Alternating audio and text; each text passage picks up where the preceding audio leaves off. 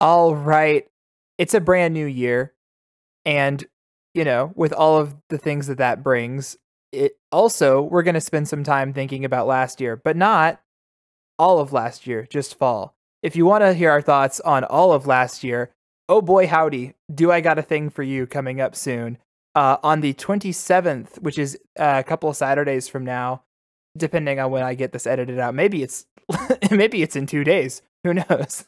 Um, we will be having the Nut Bar Annual Anime Awards, a time honored tradition. I think this is our sixth, fifth, sixth, sixth. I, th- I, I can check 20, my, 2018. My folder. If if you count 2018. 2018, then it's the sixth. Yeah. Yeah. Yeah, I'd give us six. Hell yeah. Uh, so we'll, we will be going through exhaustively um, all of the anime that we watch, giving them all awards. Uh, it's a great time. I'll be streaming it live on Twitch. We'll post about it on our socials, and then I will also upload the VOD after. This is like my favorite thing that we do every year. Um, it was really long last year. Hopefully, it's not as bad this year. We're taking steps to rein ourselves in. But I'm sure if you are listening to this podcast, you know that we tend to be long winded. Um, we try our best, and we make no promises about avoiding that this episode. um, yeah, this episode's already it might get pretty long because we're we're starting and ending with two big shows, and there's some other stuff in between. This was a pretty packed season, just because a lot of stuff. There was some carryover stuff that wrapped up. There were some kind of weird one-off shows, um, and like ONA's that end up counting for this one as well. Um, so it ended up being a pretty packed little season, and that's not even including all of the like excellent television shows that are continuing on into 2024, like Frieren Undead Unluck, uh, Shangri La, etc., etc. So, uh, we're gonna start, and this may seem strange, but this technically did the finale air in the fall season, and we have not formally covered this yet. Attack on Titan, small indie hit. um, so final season part three for real, for real, for real on God, on God it's done. It's done. We're it's done. Over. No, no more Attack on Titan. It's done. Finally, I remember in 2019 when Mappa was like, "Oh, we're taking over. It's the final season." That was a lie, obviously, and here we are, whatever, four, four years, years later. later. Uh. You say 2019, but like it really started in 2020. Yeah, the, I guess the so. last season aired in 2020, it, it, December of 2019. But you know, here we are. It's finally done. Um, so yeah, uh, I will start this. I will start this by saying that Attack on Titan was very important to me as a seasonal anime fan. Not like, oh, mine was my first anime or whatever. It was not even close to my first anime, but it was one of the first anime that I started watching seasonally way back in 2013. Um, and that was a big deal for me because it kind of got me into, you know, checking the charts, seeing what was new and coming out. So I've been on this ride the entire time. Um, and so it is pretty insane to see it 10 years later actually come to an end. Uh, and they like successfully adapted the whole thing. So that's at least a cool accomplishment. Yeah, and, and we're uh, technically uh, covering both of the specials here. Yeah. Because we didn't talk about the first special either. Just kind of conglomerate the whole ending special thing together. Yeah. So from the the escape of the rumbling all the way to the end, the this really was the end of Attack on Titan. Yeah, man. Yeah, you should. Let, let, me let me get through it, okay? okay. By the way, my, my I'm I'm a little sick right now. I hope it doesn't come off uh, too gross in the audio, but um, I'm trying my best here. So, Attack on Titan. I was not there from the very beginning, like uh, uh like Chris was. I was there, f- definitely in between season one and season two. But like that that season one hype was so fucking surreal that like obviously I had to like jump on that train. And then uh when season two aired, that's when like me and Chris were like fully into like our watching anime together yeah. era. That kind of kicked started. Honestly, I mean, we, like we started watching stuff beforehand a little bit, but yeah. like that that's like what like cemented it for sure. Mm-hmm. Um. So yeah, Attack on Titan uh, very special to me, and I don't know if, if we want to get into it Im- immediately right now, but I think the ending it fumbled the landing a little bit, but regardless, I think it still hit the landing pretty well. Um, like the um, whole Eren being the villain stuff.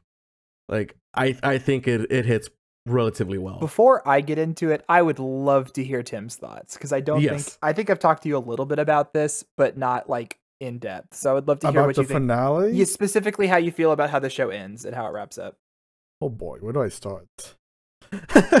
okay, well, first of all, I think I will more or less agree with Juan that I think it kind of nailed the ending a bit, kind of. It did fumble in quite a few places. I have a couple of gripes, especially with the whole, like, him, like, going to the past and controlling his dad. And By know, the it was kinda- way, real quick, but we're probably going to get into. I think this it's a in, review episode full spoilers. yeah. We're we're we're gonna try. We'll try to avoid to where we can, but honestly, yeah, it's a review episode, so just this is a season finale wrap up. You should expect a lot of spoilers. Yeah. uh, but Especially for Attack on Titan, though. for sure. But um yeah, it's- so yeah. The whole like him being able to go back in time and he was like the one who set this whole chain of events off with letting his mom die and making his dad inject him and all that makes it really like kind of cheapen like the overall I impact agree. of the show to make it like oh this is like all according to plan keikaku, uh kind of thing. Um I also have gripes with the whole like the whole like Koki's rip off thing. I'm gonna make myself the villain and because I'm the villain everything's gonna be fine now. I like. Like- that I don't even think I don't I don't give him that much credit. I don't think that that was his plan, and I think that that is kind of an ass pull from uh Isayama. Yeah, but- Isayama.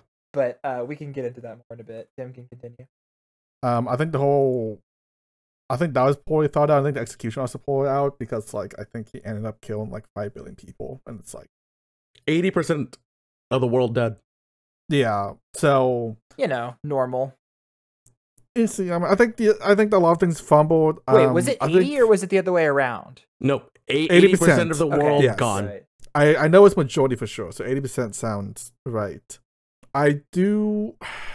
I mean, the ending. I mean, like the fights and stuff is always like you know it's Mappa. They they nailed it, and it was a lot of fun. And I like how I like the final final message they kind of ended on after like Mikasa went back to the tree and she died, and this is like two centuries later. They still showed like oh, conflict is still like you know you it- the peace War is an endless war is cycle. inevitable. Yeah, it's an endless cycle. You know, like you can try. Like I kind of like this like kind of final message he ended on. So those things I do like. I just feel like the ending felt really cheap by a lot of things I didn't think was necessary. But at the same time, I also don't know how to like wrap up Attack on Titan without how how to fix the rumbling essentially. Um, I think Attack on Titan peak really hit the stride at the end of season three, and season Agreed. four onward was like kind of fumbling his way through like how do I end this series? I think I don't know. So I agree wholeheartedly. I think if I could just choose to recommend how to have someone watch Attack on Titan, I would tell them to stop after season three. I Um, don't agree. But what sucks is that there's a lot of really good stuff in the season four uh stu- uh like episodes leading up to the finale. Um the problem is that they are all servicing a narrative that I think ultimately kind of just fails and doesn't work. Um but there's a lot of really great scenes and really great stuff in season 4.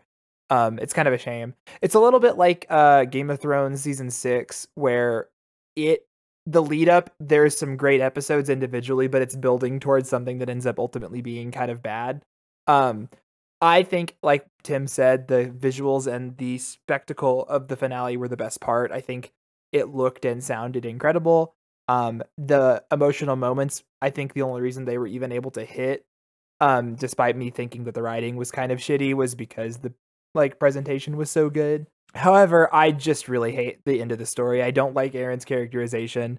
I think it's extremely convoluted. I think that he wrote himself into a hole and wasn't really able to write himself out. Um, I think that Eren is a terrible character. I think Mikasa's characterization is a little bit let down because of how bad Eren of a, bad of a character Eren ends up being. Um, I just don't find it particularly interesting that they felt the need to kill. I don't know. I think the rumbling is a bit of a silly plot device.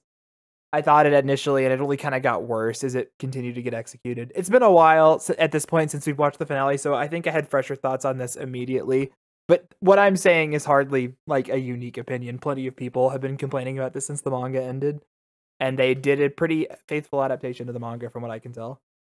I think something that really annoyed me while watching the finale that that's you were like reminding me of was like as Eren was killing billions of people, like all the like court cast people were like, "Oh yeah, Eren's still our friend. We can just talk to him. You know, nothing, everything would be all right." Like it was just like they were just kind of cast it aside, and it felt really like disjointed for like them to be like, "Oh, I still believe in Eren despite all him killing billions of people." I don't know.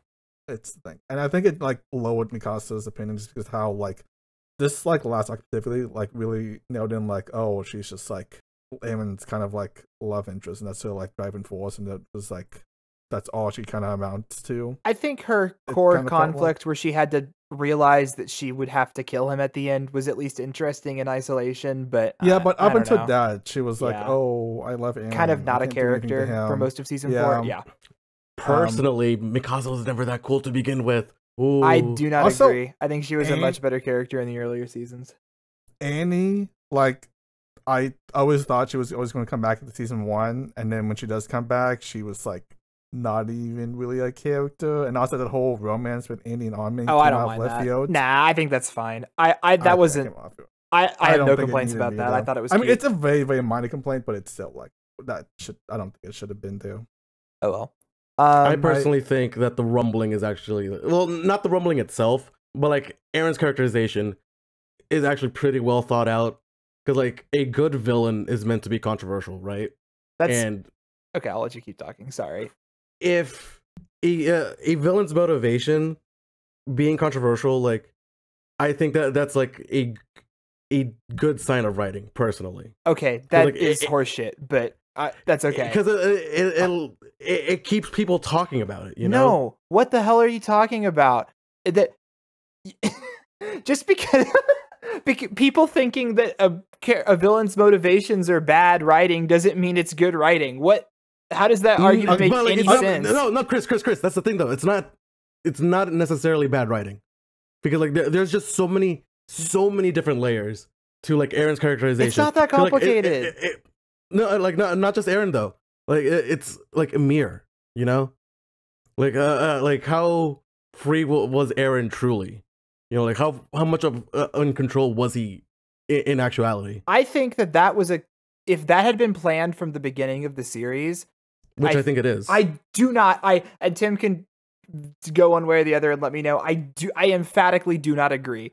I do not think Attack on Titan the narrative was written with that ending in mind. I think he decided on it around season two or three, maybe a little bit deep he- into uh, in three. many interviews, Isayama said like he had the exact ending from the beginning. that is possible, but also writers lie about that shit all the time. J.K. No, Rowling like, I mean, famously like, he lies about he it. did say that like he like oh I was kind of like locked into this ending from the beginning. then he didn't do a very good job of setting it up. So I don't think Eh. Eren's characterization in the early seasons matches his characterization in the end at all. There's a lot of good video essays out there, and like uh, I I watched like a, a ton of them. And I'm like I I agree with a lot of it. Okay, well that doesn't necessarily substitute a real opinion. I I just I want to put it's fine if you like the characterization and it's fine if you think that it works better, but I really want to push against saying something like because it's controversial that must mean it's good. That's ridiculous.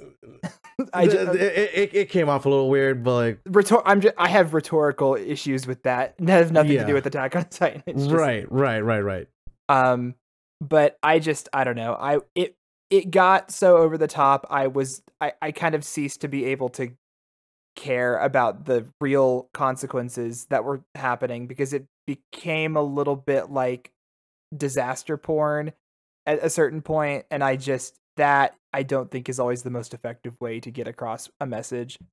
I think that they really especially at that first special part, man, they really wanted to rub it in. They were like, look at all these that- people that, getting that really was. annihilated and you're like yep our protagonist is doing that and that's probably not very good i don't know I mean, like Eren stopped being the protagonist pretty much at the start of season four. i and i know and i just think that they didn't do a very good job of switching that over and I know. I mean, like they did though, because like with uh, the whole beginning of season four was uh, Reiner's perspective, and the whole uh uh fuck well, well the, the that other country like it, it, Yeah, switching Marley. to that perspective, Yeah. Marley, like so, switching over to, to the Marley perspective, i don't know like uh, i think attack on titan had themes that it was going for in the first three seasons that it kind of just dropped in pursuit of the greater narrative about Marley in season four, and then they were kind of going for some other themes that I thought were really interesting. I really like the Marley arc. I like the kids. I like Falco and uh, Gabi and how they're introduced, um, and sort of how it talks about indoctrination and the cycle of violence over time. There's a lot of good thematic stuff that Attack on Titan's working with, but none of them has to do with Eren, who I think is a terrible character, unfortunately. Yeah, and like that, that's why I say like I don't. I think it's reductionist to say skip the final season. Like I think no, you should I was. watch the I'm, whole thing. I'm not being serious. I think. I think you can watch the whole thing. Just know that maybe it it might not be to your taste. Um. So I, I think watching like the whole thing, like not necessarily like binging it all all at once, but like continuous instead of like you know waiting year to year. I I think that that's probably like the ideal way to consume it. yeah, I mean, It's yeah, but still a very for everything. popular and like famous work, and I think it's you know deserves its place. But it's also hard. It's hard to write a big long story like this. Yeah. There are very few that actually manage to be consistently good all the way through, and even even the early season, like a season one, this the back half is not amazing. Right. Um, so, yeah. No, I, I I still think the like the it, it manages to land the uh, uh the ending. It fumbles a little bit here and there, but like I I think this uh, finale like cements Attack on Titan as like an anime classic that like most people should watch. I And, will like, absolutely give you like anime classic, you know, shonen classic deserves to be in the repertoire. If anyone starts giving me greatest anime of all time considerations, I will laugh them out of the room. I will be honest. I don't know how you feel about that one, at least one. Um, I, it's not in my top ten, like nowhere near my top ten, but like Yeah. probably like in my top twenty-five. um, I might give it top fifty if I was basing it more off of cultural impact and less on quality. But that's a completely different conversation. Any more thoughts, Tim, before we move on? I think we're, we've milked this. Um, I would probably put it top 100. Um, I'm still a little hung up on one's like villain, a good villain. we don't have to worry about controversial. that. it's okay. We don't have to worry about It's that. just this is really bothering me because it's how wrong it sounds. Anyway, uh, it's okay. Maybe I'll cut it out. Um, all right, we're moving on. No more Attack on Titan. We're putting it to bed, just like Eren got put to bed because he we go. died. Um, okay. And now we're moving on to the real heat of, of the series of, Yeah. the, of the season. To- on a completely Kanojo different Mo note. Kanojo season two, baby. Let's go. All right. I really wish, I really wish this wasn't airing in the same season as, as Hyakano, the hundred girlfriends that really, really, really, really love you. Because man, it really just knocks it out of the water. I don't necessarily agree. I mean, they, it's the same kind of concept, but like he kind of takes it in a lot more like parody vibes and is a lot more Yes. diverse in its gags and jokes. While like Kanojo Kanojo is stays with his more niche, but it like hits the jokes like hard and heavy. It it does. It, it and like because it's just like the four characters, like it you're able to like develop them further and further. Yeah, yeah, yeah. I like how like, he kind of has a hundred girlfriends, so obviously he can't spend like forever developing each one of them. But like, I like the well, I guess we'll get to that later. But like, he he does give some development, but neil not nearly as much as like the Kanjima Kanjima. It's not something that you really miss out on. when You Mhm. notice when you compare watch the two shows side to side. I think this season did a really good job growing out the the cast from last season, especially like the two minor girls kind of in the background and kind of showed up a little bit towards the end, and they, they really feel a lot more fleshed out. No, yeah, Uh, they're they're definitely part of the harem now. Yeah, well, kinda Kind of. asterisks. Well, because uh, the fuck, I already forgot her name. The white hair girl. Yeah, your, Shiro. yeah, your girl, Yeah, my girl. R- R- Rei Takahashi. Like she, th- this was that that whole back half was like her arc, and like her like finally accepting her feelings. And fucking, she was the first one to get a kiss in. Holy shit! Not expecting that. What? No, no, she didn't. Yeah, she was the first one to get the kiss. The blue hair girl We're got in the season kiss. two, and they're all like a poly quadruple, and there hasn't Hey, been a it's a- kiss yet. It's a very wholesome romance. I don't know what you're talking about. Um, Quote, unquote. Why are they, wholesome. Logan? Why are they watching this shit, man? But but it's fi- it finally happened uh, after twenty episodes. wow. No, I think Minato got a kiss last season. That's why Sakatake needed a kiss because No, no, the, that was the whole. didn't. That was literally the whole point of the season. Uh, yeah, because Tim. Sakatake didn't get a kiss, but Minato did already. So there was a kiss. No, Mi- Minase never got one. She, She like she, did. uh, she no, literally the the last episode. She's like, man, I got no development here. We'll fact That's- check that's what this she and said. come back to you. We'll- please, we'll fact please check. move on. Anyway, Uh, I I I, I want to re- read the manga of this. I, want to catch up. I Like, was a I- little. Yeah, you wanna you wanna read the manga? I want to read the manga because uh, I don't think they confirmed like a season three yet. They did not. Um, I will say I was a little bit worried, especially with these kind of shows that like the one the one gag shows that they'll get pretty dry um after a while, especially in Mhm. season two. But I think with the the growing like cast that they're having, that they kept it really fresh and it was still very enjoyable. Yeah. Yeah, yeah, well, watch the show if you if you like harems. It, it's fun. okay, Logan, please speak. Yeah, us. s- Tell us about this next boy, anime. Speak. Uh, so Zom 100 um was is it Uh, technically this season? it started in the or- summer, and we had to delay it But it because didn't- yeah, yeah. So it was a summer Because anime that we were. I, I couldn't now. I couldn't remember when the delay happened. Right. Uh yeah, so Zom 100 uh I think this was a really nice show. Um very solid production values uh and um I I'm sure that we're going to have some words about how that final arc went down, but um especially given, you know, the last time an anime took an extended break and then came back with the finale uh, being Wonder Egg priority. I think that they did a much better Yeah, job with they passed the test. I, I was I was very worried when they're like, "We're gonna delay, but don't worry, it's coming back." And I was like, "I've been hurt before by that."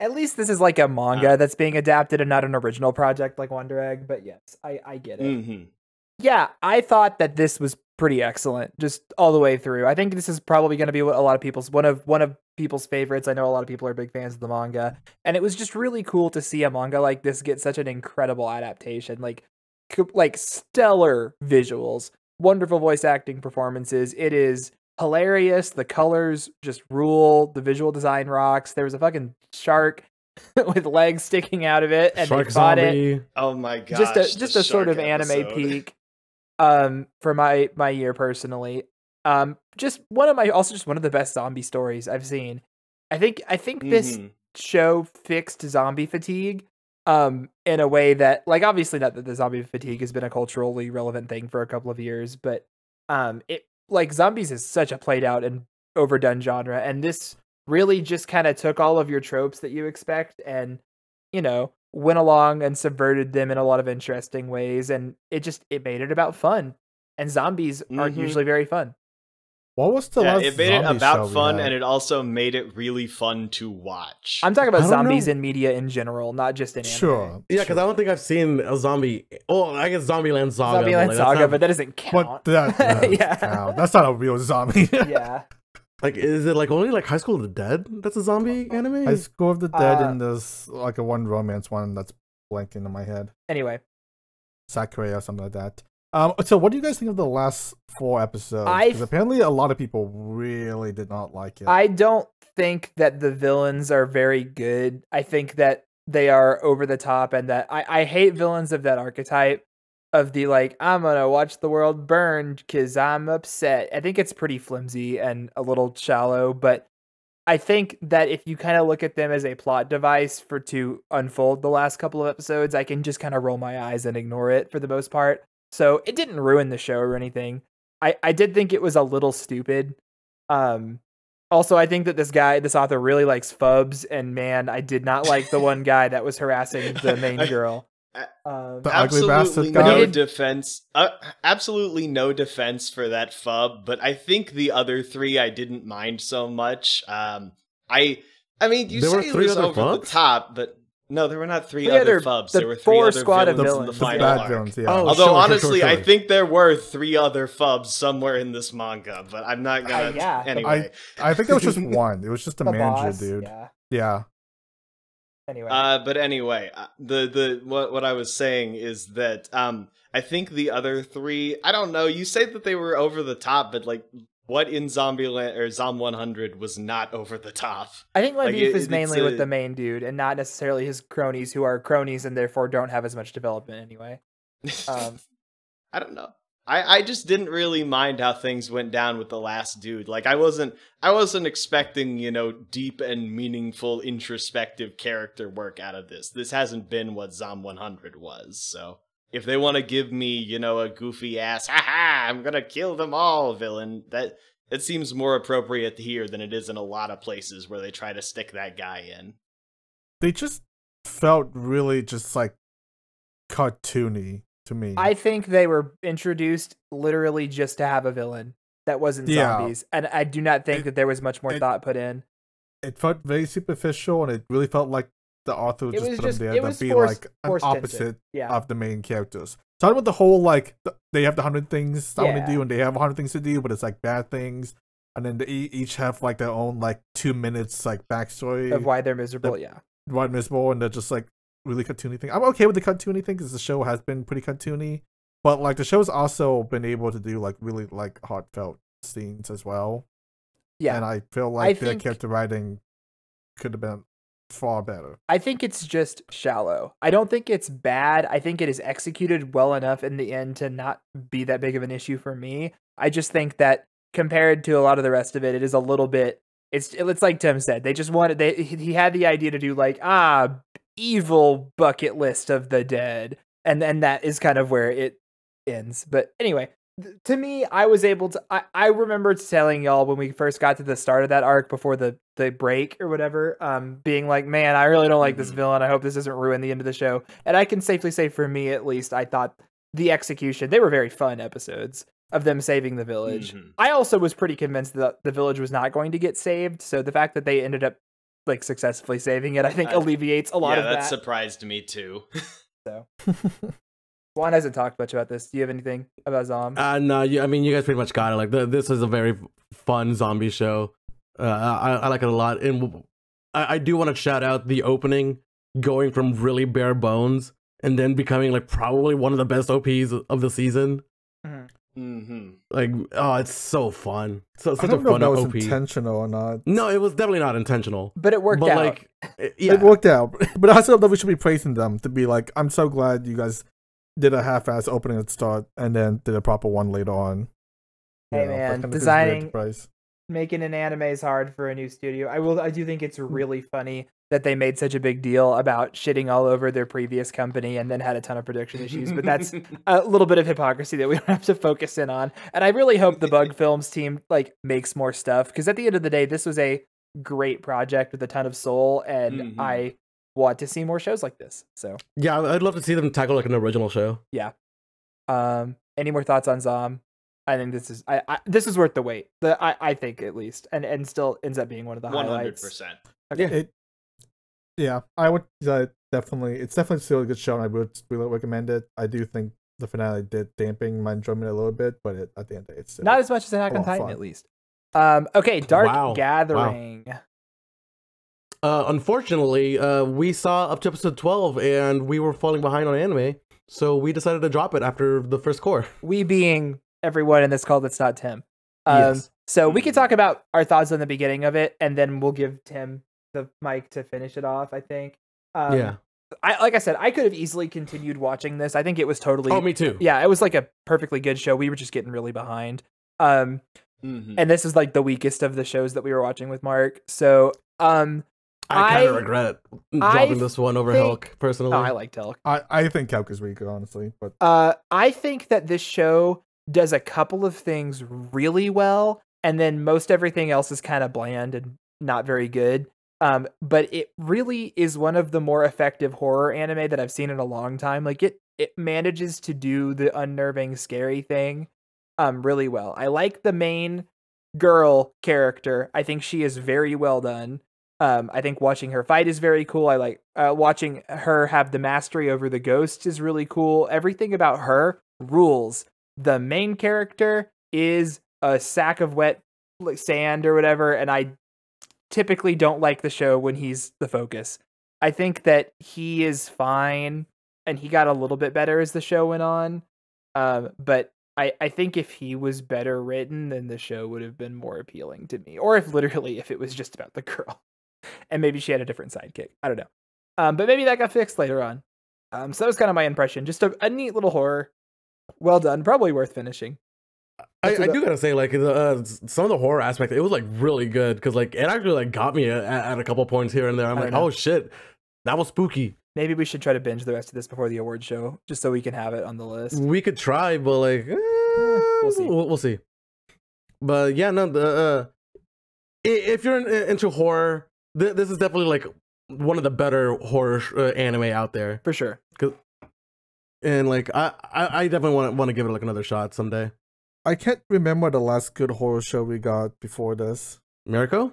I would not consider No, Mieruko that is to be a not good show. horror show. How, how, would, how after you read the manga one could you say that with a Dude, straight Mir- face? Mir- the Mieruko manga, holy shit, is so fucking It's- good. Excellent. Anyway, Cool. Uh, uh, Tim, was there anything in the second half that we missed out on? Um, yeah, I mean, I think the second part really like gave the show a purpose because at the beginning it was just like we, you know, they al- they had always nailed down the whole like spooky atmosphere, which is like good because it's a horror show and that's like the number one thing they should do. But they it really didn't have a good sense of direction of where the story was going. They were just like going to random places and like hunting things. But like I think Act Two really set the tone for the show to be like, okay, we have a goal of being this god and we have to obtain the like eight ghosts, uh, spent ghosts to be them.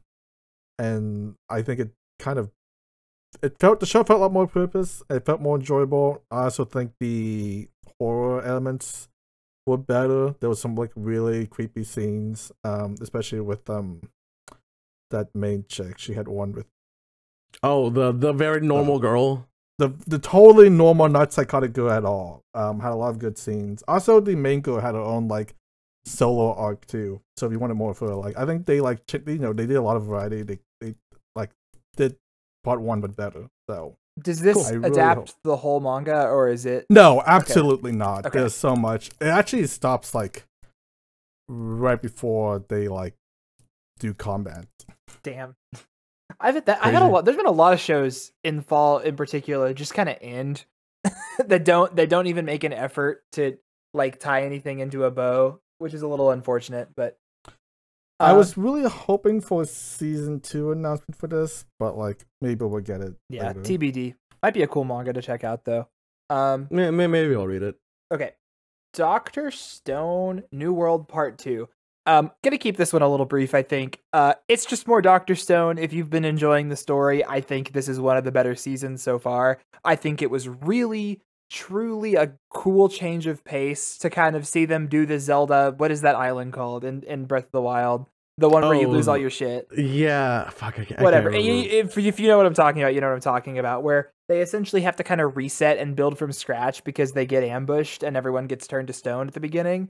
Um, watching them navigate that difficult like segment was quite cool, and what having a no like a new proper villain was really cool. It was just a, an excellent season. I had a lot of fun with it. Yeah, I actually, I think I definitely enjoy this more than the Tsukasa arc because like the Tsukasa arc, it just felt like generic shonen and like kind of forgot the science aspect. And this one, this one, it had like a perfect balance between Mhm. the two. And then like even like the final battle between Senku and the villain, like Senku actually getting to like quote unquote fight was Yeah. really cool. Very So, neat. uh, uh, I do. I- I, I have definitely always that. loved that fight. Yeah, uh, Logan, uh, since you read the manga, like how was it uh, adapted? Uh, I mean, it was adapted about as well as Doctor Stone usually is. Um, I, I consider it like kind of an on par anime adaptation, and I think that they, you know, did a solid job. They didn't, they didn't bring the material down at all. Right. So, Mhm. mhm. It was good. I don't know if Too many anything else- thoughts? That whole post stone thing was like a thirty second speed run, wasn't it? What do you, What do you mean post stone thing? You were talking about how you like they, they did the Zelda thing where they like got reset after we got turned to stone. They only Oh yeah, you mean like uh like Senku like three minutes? Ch- Well, I mean, like he had to like choose who had to uh, he had to revive first. I am talking about the beginning of the season when everyone on the ship gets turned to stone and the small group escapes with the uh, portable truck. That's what I'm talking about. Oh, Where the, yeah, it, it yeah. felt for like the first time in a while where the heroes did not have all the resources that they typically have at hand and they really had to get creative with how to do it. Like the the the odds were very much uh, stacked against them. And I the show hadn't felt like that in a while. So that's what I'm talking Yeah. about. I kind of missed the season one stuff where they got creative and like spent a lot of time like coming up and inventing technology. Because it really feels like last season. Well, this is a more, last part like, of this part where it's like PvP oh, focused. I need yeah, arc. it's, it felt more like shonen arc, but it it felt really like oh we need this technology, and then they like speed run ten seconds, they have it immediately. I think While in season one it would Yeah. take them like three episodes. I think And to me, yeah, go ahead. I was just gonna say I think next season will be a lot more like that based on the how this one ended. Well, considering they're gonna wrap up the entire series, I think there's gonna be a lot more speed running as well. It But just like depends to on how many me, episodes we get. That that whole like them figuring out how to build shit and taking their time was what set Doctor Stone apart from all the other shonens. And now it, it kind of felt like it lost its its charm about it, what made it special. I think the cast still does like a lot of the carrying to like make the show good, but I kind of wish they spent a little bit more time on the inventing part. We'll see. Yeah. Um, Still I good. also, I'll mention, I'll bring this a little bit again later, but I also have a problem with the thing being like very silly and gaggy, where like, oh, we're gonna have this big face off with the guy on the ship, but then the guy, then what's his name, Magma steals the gun and runs off with it. Oh, that Or, part. like, yeah. It was I'm gonna hilarious. be- I don't know. That's silly. I think it's. I just silly. think that's how Doctor it's Stone is tone wise. I but- think that's just how it's always been, and that's kind of what I expect. It's never going to be hundred percent like super serious. It felt like, but it didn't feel like it felt like it went out of the way to do it. It didn't feel natural, kind of. Like Eh, I felt. I like, just think that's how Doctor Stone is to me. It didn't feel out of place. Um. Okay, we're gonna move on. Uh. Next up is Hoshikuzu Telepath. Um. How did y'all find this one? this show it starts off very cutesy just your typical like gay girls doing cute things kind of show and then uh it the middle of the show it like starts to pivot into really focusing into the bottle rocket science and you can tell that the author is like really into this subject and it's kind of cool it's it's really cool to like actually like see that passion and then the girls fail and then the the last third of the show is just so fucking dramatic and serious of like trying to fix this broken friend group like mm, chris like you and i were watching it and we are like Mhm. what the fuck is happening yeah, it gets a little intense. For I want to j- like for how fluffy the first couple of episodes are. You would not think, and especially like the disposition of how the main character is. She is like a extremely shy, like overly polite character, and so you. It is interesting to see that have conflict introduced to a bunch of extremely bubbly, like cute girls doing cute things characters. It's not anything like new or original, like as far as the character dynamic. Like you know, club shows have club show drama, but it is done very well. Um, and yeah, I I did bottle ro- or uh, model rocketry in like middle school, so it was kind of cool seeing them do it. I was like, oh yeah, I built a uh, that's a that's a B engine. I know what a B engine is. Um, so it was it's it's cute. Uh, it's also one of the more Yuri shows that this year. Um, it's thankfully, like I can so say yuri but like also kind of not it's bait. Unfortunately, there is no. Appa- ex- no, apparently it does get Yuri later on. I've but heard in end the, the manga. I've heard the manga Yeah. is a real Yuri eventually, and I think the I think the end was pretty unambiguously romantic. The way that the last episode uh, portrayed them. yeah Um. So. Yeah, but I Um, also wouldn't say go watch this Yuri for like the 10 second of Yuri. yeah. at the It was end, cute, and if you like cute girls being. Yuri, you know, if you like getting Yuri baited, go for it. But it was a cute club show outside. also of if you like model rockets yeah, exactly. Um, Did you guys like the last four episodes where it got super serious? Yeah. I thought it was Yeah, pretty no, good. i actually like really enjoyed it Like it more than the, the cutesy things? or- Definitely, I was getting a little Yes. bored of the first couple of episodes. yeah honestly, like the first like fluffy episodes i'm like this is very generic i it I- picked up when I'm they started interest. actually doing club stuff. They basically once the red-haired girl gets introduced, I think the show improves a lot.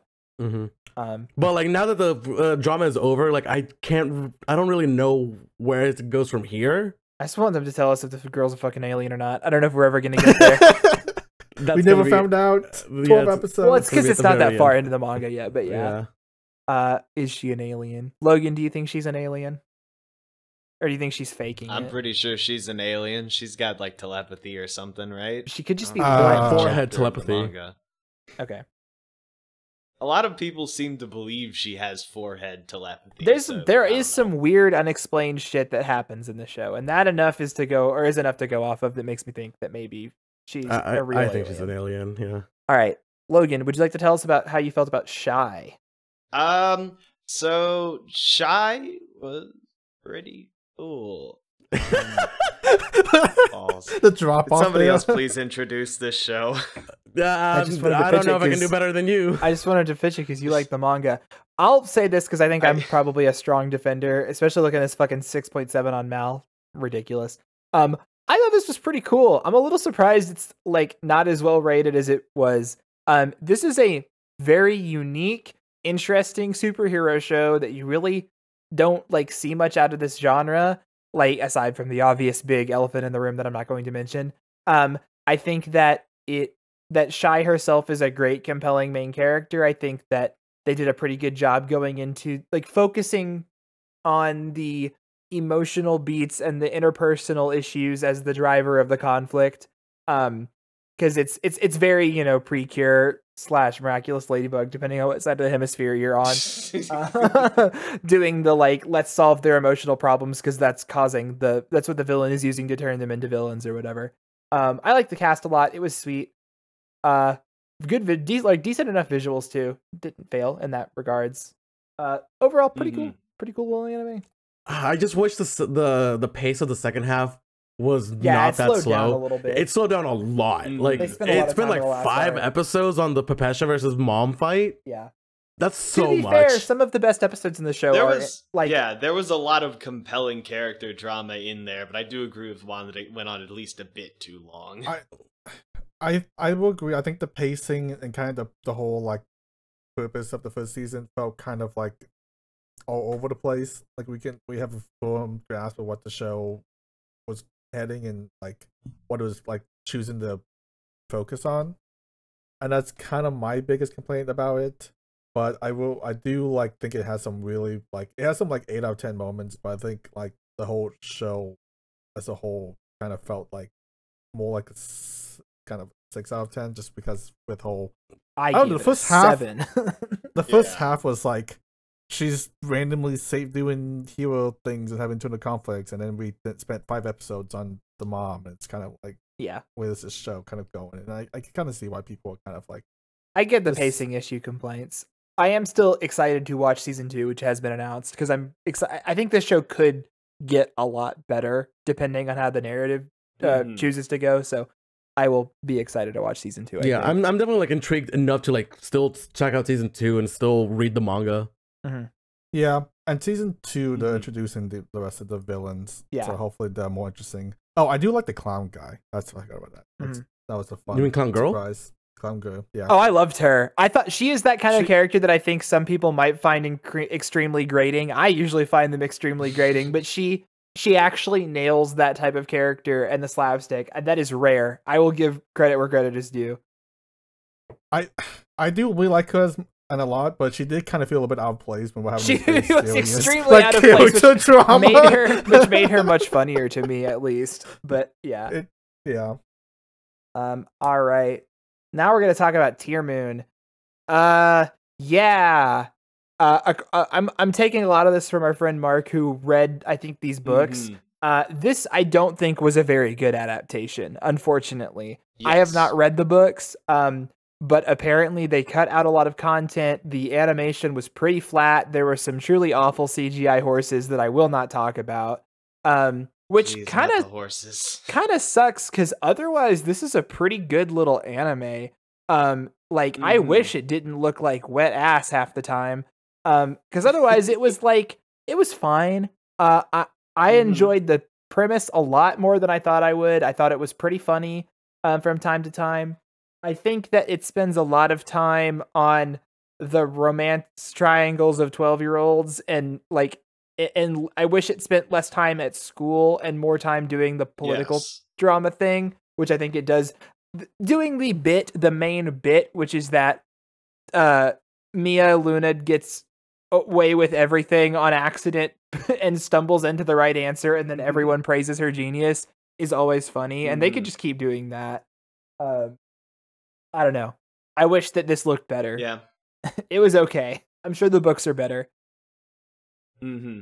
I this is this yeah this is an adaptation like you know I was talking about Doctor Stone earlier as an adaptation that isn't necessarily like you know high class but it doesn't lower the material at all. This felt like it was dragging down the material in like you know some very visible ways like the CG horses and also in just some like tiny stuff like you remember at the beginning when we were like when she wakes up in her bed and for some reason she's in like her full dress in Yeah. her bed and we were making fun of that. Yeah. Apparently that doesn't happen in the manga. Apparently she's like wearing night normal pajamas in the manga. And that that's just like a, a weird little tiny thing that the the what's it called? The animators weren't paying attention to or whatever.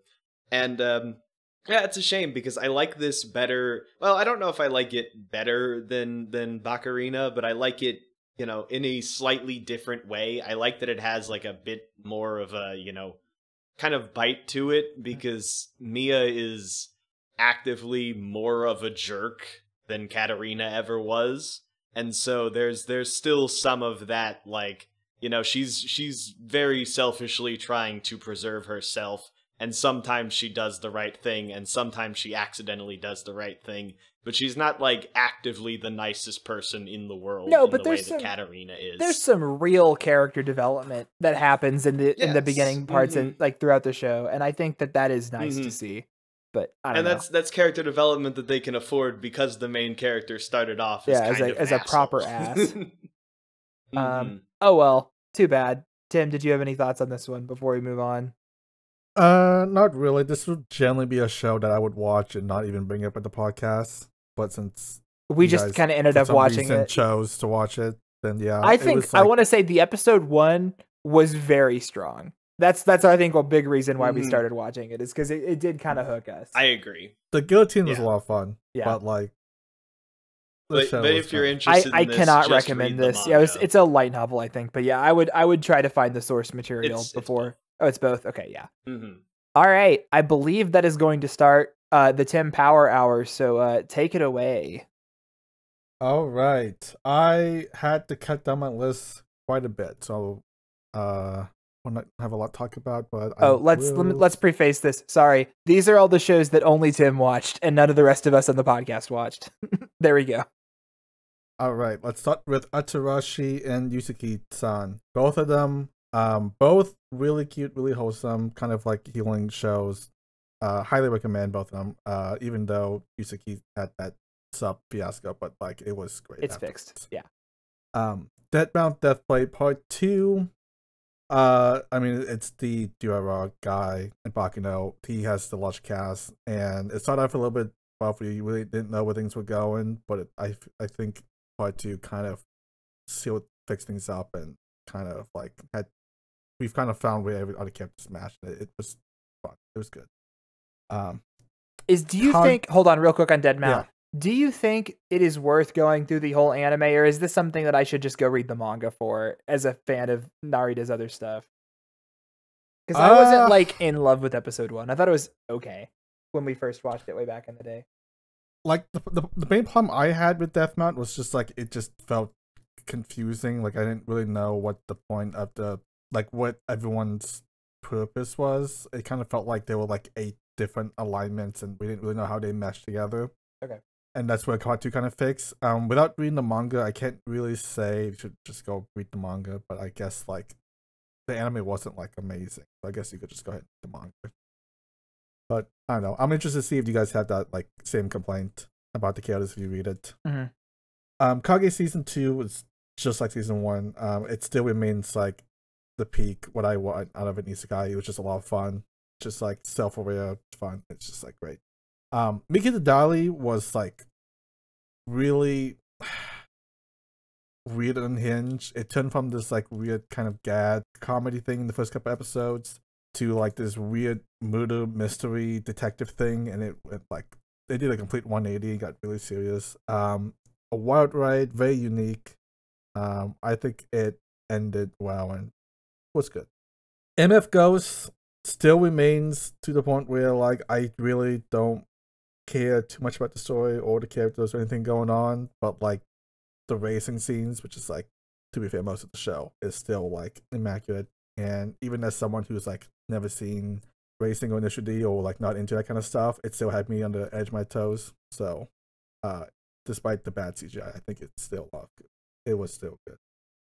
Uh, Overtake is also another racing things, but it does like the complete opposite, where it, doesn't really focus as much on the racing, but it focuses a lot more on the character writing, and it does a phenomenal job at the character and also like how they draw and like showcase all that stuff.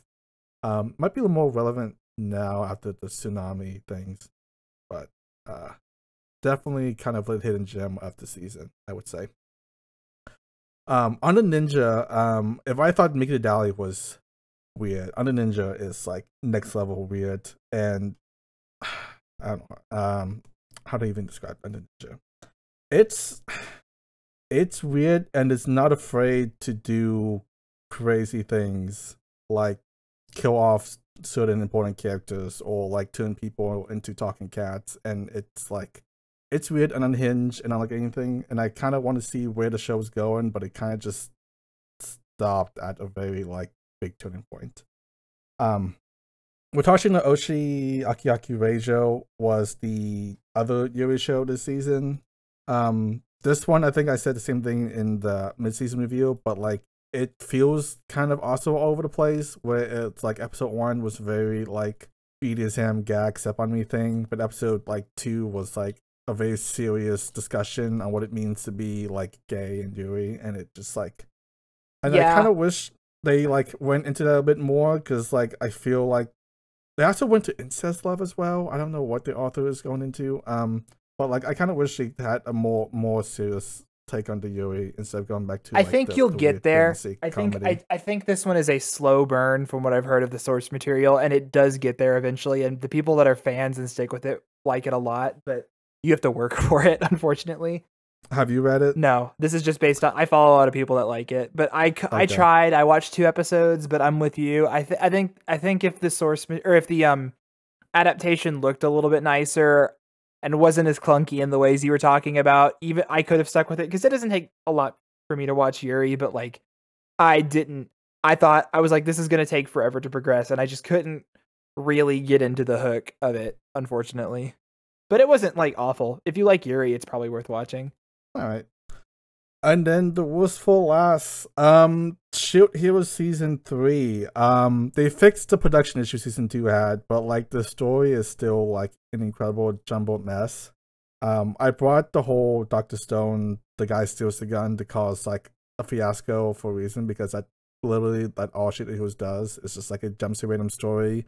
Someone makes a dumb decision for no reason and cause like a conflict to solve and then it jumps to a jump cut to something else completely irrelevant and it just feels really disjointed. And i i would say just just, just don't watch it. Um the um Boku no Ame-iro protocol which was the esports of this season um we knew from episode one that it looked really bad and it was going to be really bad. Um i thought there could be some like this could be like some trashy fun show to watch but unfortunately like it didn't go that way. And then what like really really set me off was like in the finale. Imagine like an esports finale two people like facing off. It's like a 1v1 they just stand at each other stand still nothing doing pulls the pistols and just shoot each other like right across from each other. And it's just like and they make a whole like epic oh this is a big thing going on and then I'm they pull of their uh, like single knives. esports game where there's a one v one shooter. as a Well, no, it's it's a team game. It's like Oh, it's okay. like imagine like CS:GO Valorant. All the team is dead. Then two people both comes out. They send across each other, start shooting pistols, and then pull a knife out and start charging each other. And that's like supposed to be the if that esports thing. Happened, was- if that happened in a real Valorant match, like at the pivotal moment, it would be the sickest thing of all time. I will admit, but no, that I don't think that is what would happen. Um, no, but bad. yeah, the esports falls apart entirely, and the characters just like also falls apart. So unfortunately, it was not too the bad. fun trashy maybe, show I wanted. maybe we'll get a good one someday. Hey, solo But leveling yes. is this season. Not the same thing. All right, Oh So- shit, you're right. That is not esports. all right. Now speaking of not esports, unless dating is an esport, uh, talk us about this next one, which is a big hit for this year. Oh fuck yeah. Kimi no koto ga dai dai dai dai dai dai daisuki na 100 nin no kanojo. Or the 100 girlfriends that really really really really, really love you. Or Hyakkano, which I've I'm gonna be calling it Hyakkano. I'm so tired of, of saying the full name over and over again. Just say Dai Dai Daisuki. Whatever. I, I like Hyakkano. Hyakkano like flows really well. yeah, I agree. sure. Uh, so this is the peak of a harem anime comedy. It's it's just so funny. Like man, th- uh, this r- really was made by someone who's like grew up wa- like reading and watching harem anime, and they're like, "Fuck it, I'm gonna make my own, and I'm gonna make fun of the the genre the entire time."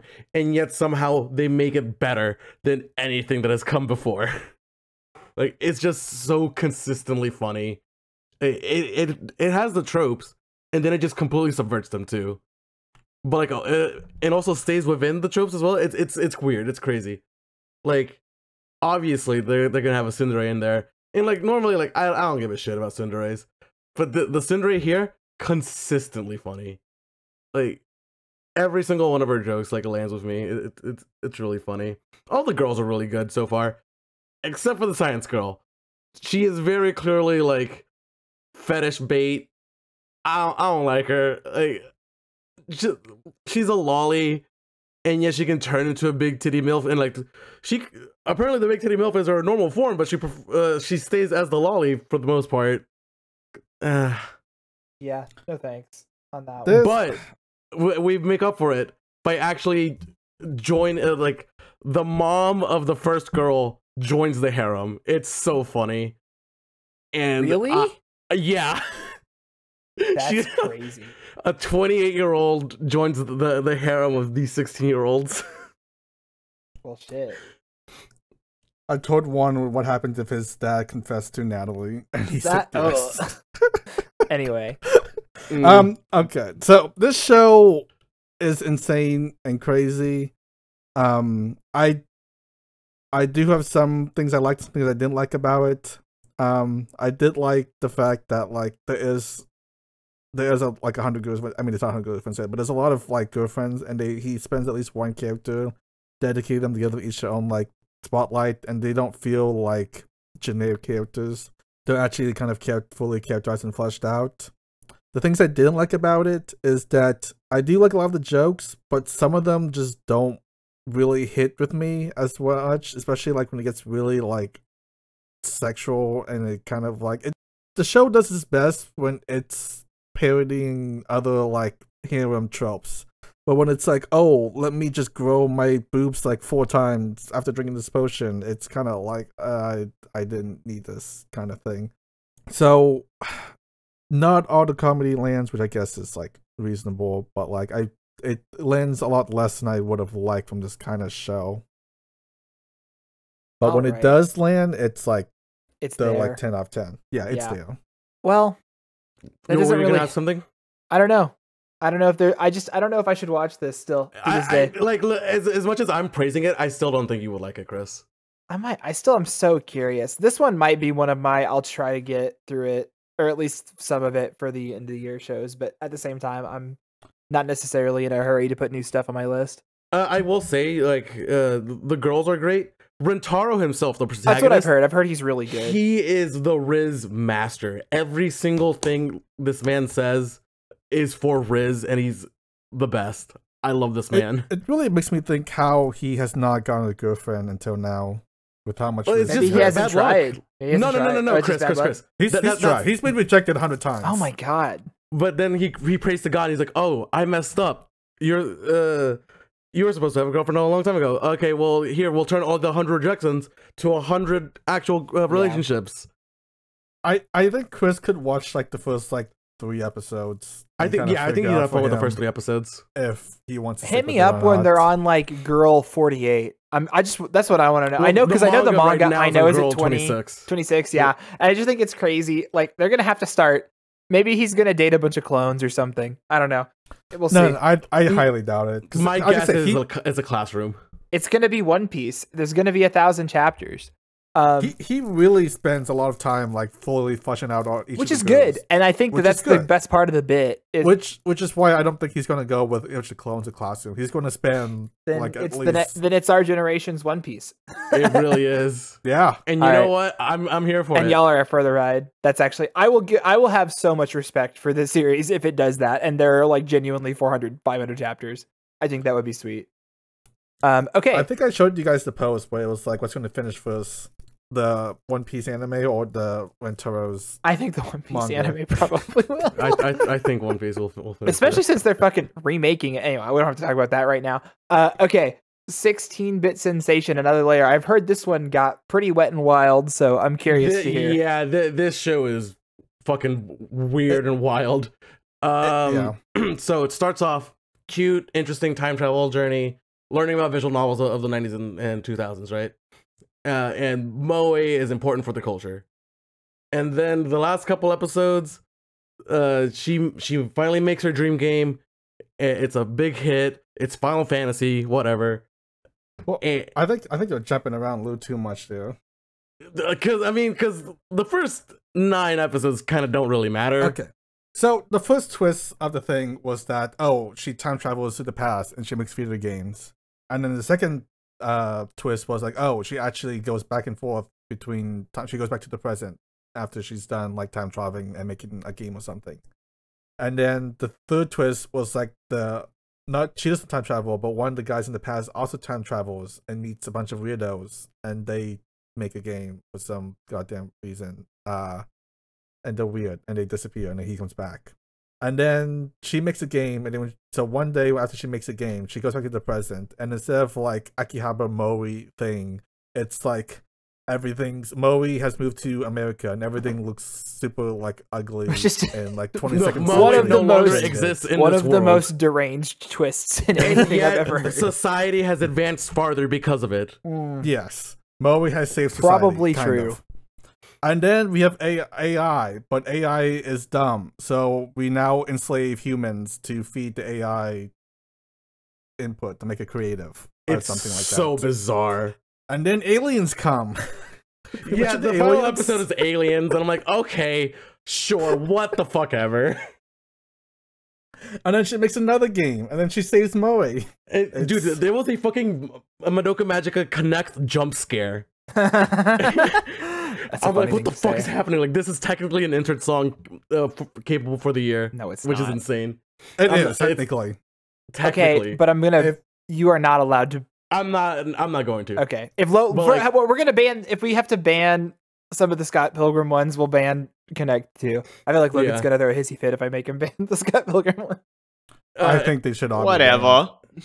I, I do Walk into that one. want to emphasize uh, the one episode where they were like, for a split second, they were advocating for AI.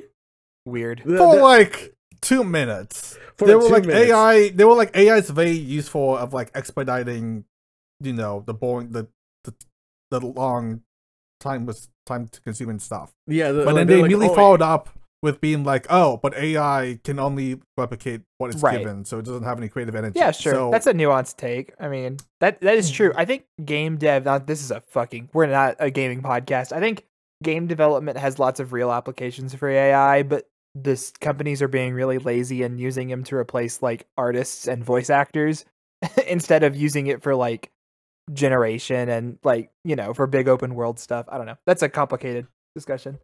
No, Anyway. like, the, they were like advocating, like, "Oh no, you, you could have the AI make the art for you." Yeah, that's and, cringe. and I'm like, "Let- Yeah, let's not advocate for this.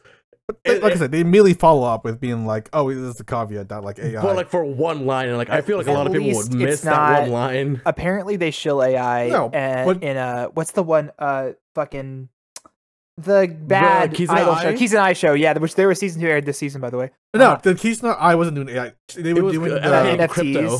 NFTs. NFTs, so that's what it insane. But it was in like a post credit thing. It was so weird. I And, can't um, believe that but- show got made anyway any final thoughts Anyways. on on 16 bit before we move on it sounds like it kind of jumped the gun a little bit Um, I don't necessarily agree with wanting AI because the whole point of them like enslaving humans was because AI was like incompetent and couldn't make games by themselves.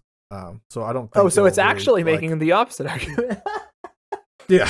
Like I said, for a split second, it advocates for it. Well, for a yeah, for split like second. one second. It's just crazy that like 99% of the stuff in this show was not in the original manga. Yeah, I was gonna say this is the like original what a weird adaptation. It's called 16-bit, another I- layer. Uh-huh. So like it's Yeah. like a different take on on, on this story, I guess. Kind of But like 16 the, bit, I think, is originally supposed to be like just a bunch of like girls in the 90s making like visual visual novels, Mhm. And that's it. There was no like time travel or like AI or It barely robots focuses or on the visual novels in this anime. Um, it kind of did in the first like four episodes. yeah. but like it quickly like you know But then it became about be like anything else. aliens and AI. Anyway, th- this was very much like a seasonal show. I don't think I would have watched it if it wasn't airing. Okay. Yeah. Well, there you go.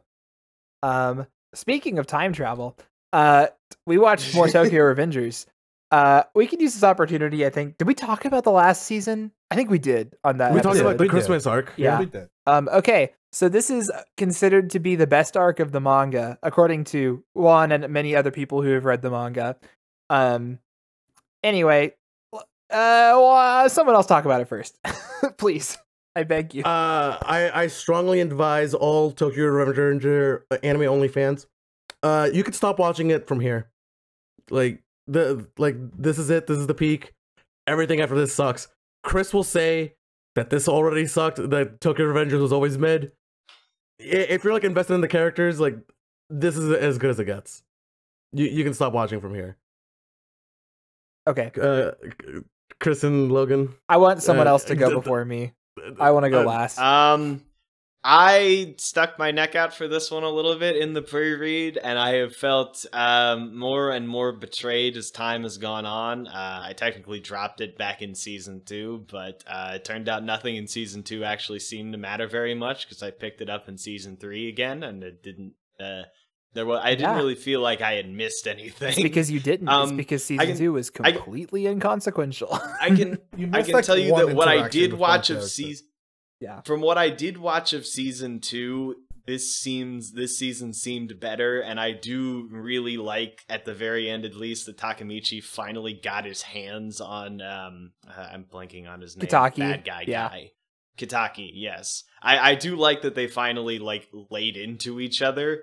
Um, and I thought it was extremely funny that I predicted the twist of that fight by accident while making a joke to Juan. Um, I if you have not picked up Tokyo Revengers, I don't think you should, having seen this much of it. Um, that's that's my position. I don't. I didn't think this was like horrible per se. Like I've seen worse. I've seen worse this year, frankly, but it it wasn't very good. And um, this is probably the worst show that I finished this year. I think, at least. I, So- uh, I'll have to go back and look. I think it is for me too, but we'll see. Real quick, okay. but Before yeah, I oh wait, gotta continue on, Logan. Uh, no, I was just gonna say it always seems to have pacing issues. Um, the writing is very the, the the pacing is always super slow, and that exacerbates how much of the show is just people shouting at each other while a fight should be happening. And I, the Chris has a lot more narrative issues that I'm sure he's about to talk about the moment I cut him loose. But yeah, I just I I can't really say that this is very good. I think especially since we have to kind of group both of the seasons together for year-end evaluation purposes, since it's all kind of just the one show, it does not help.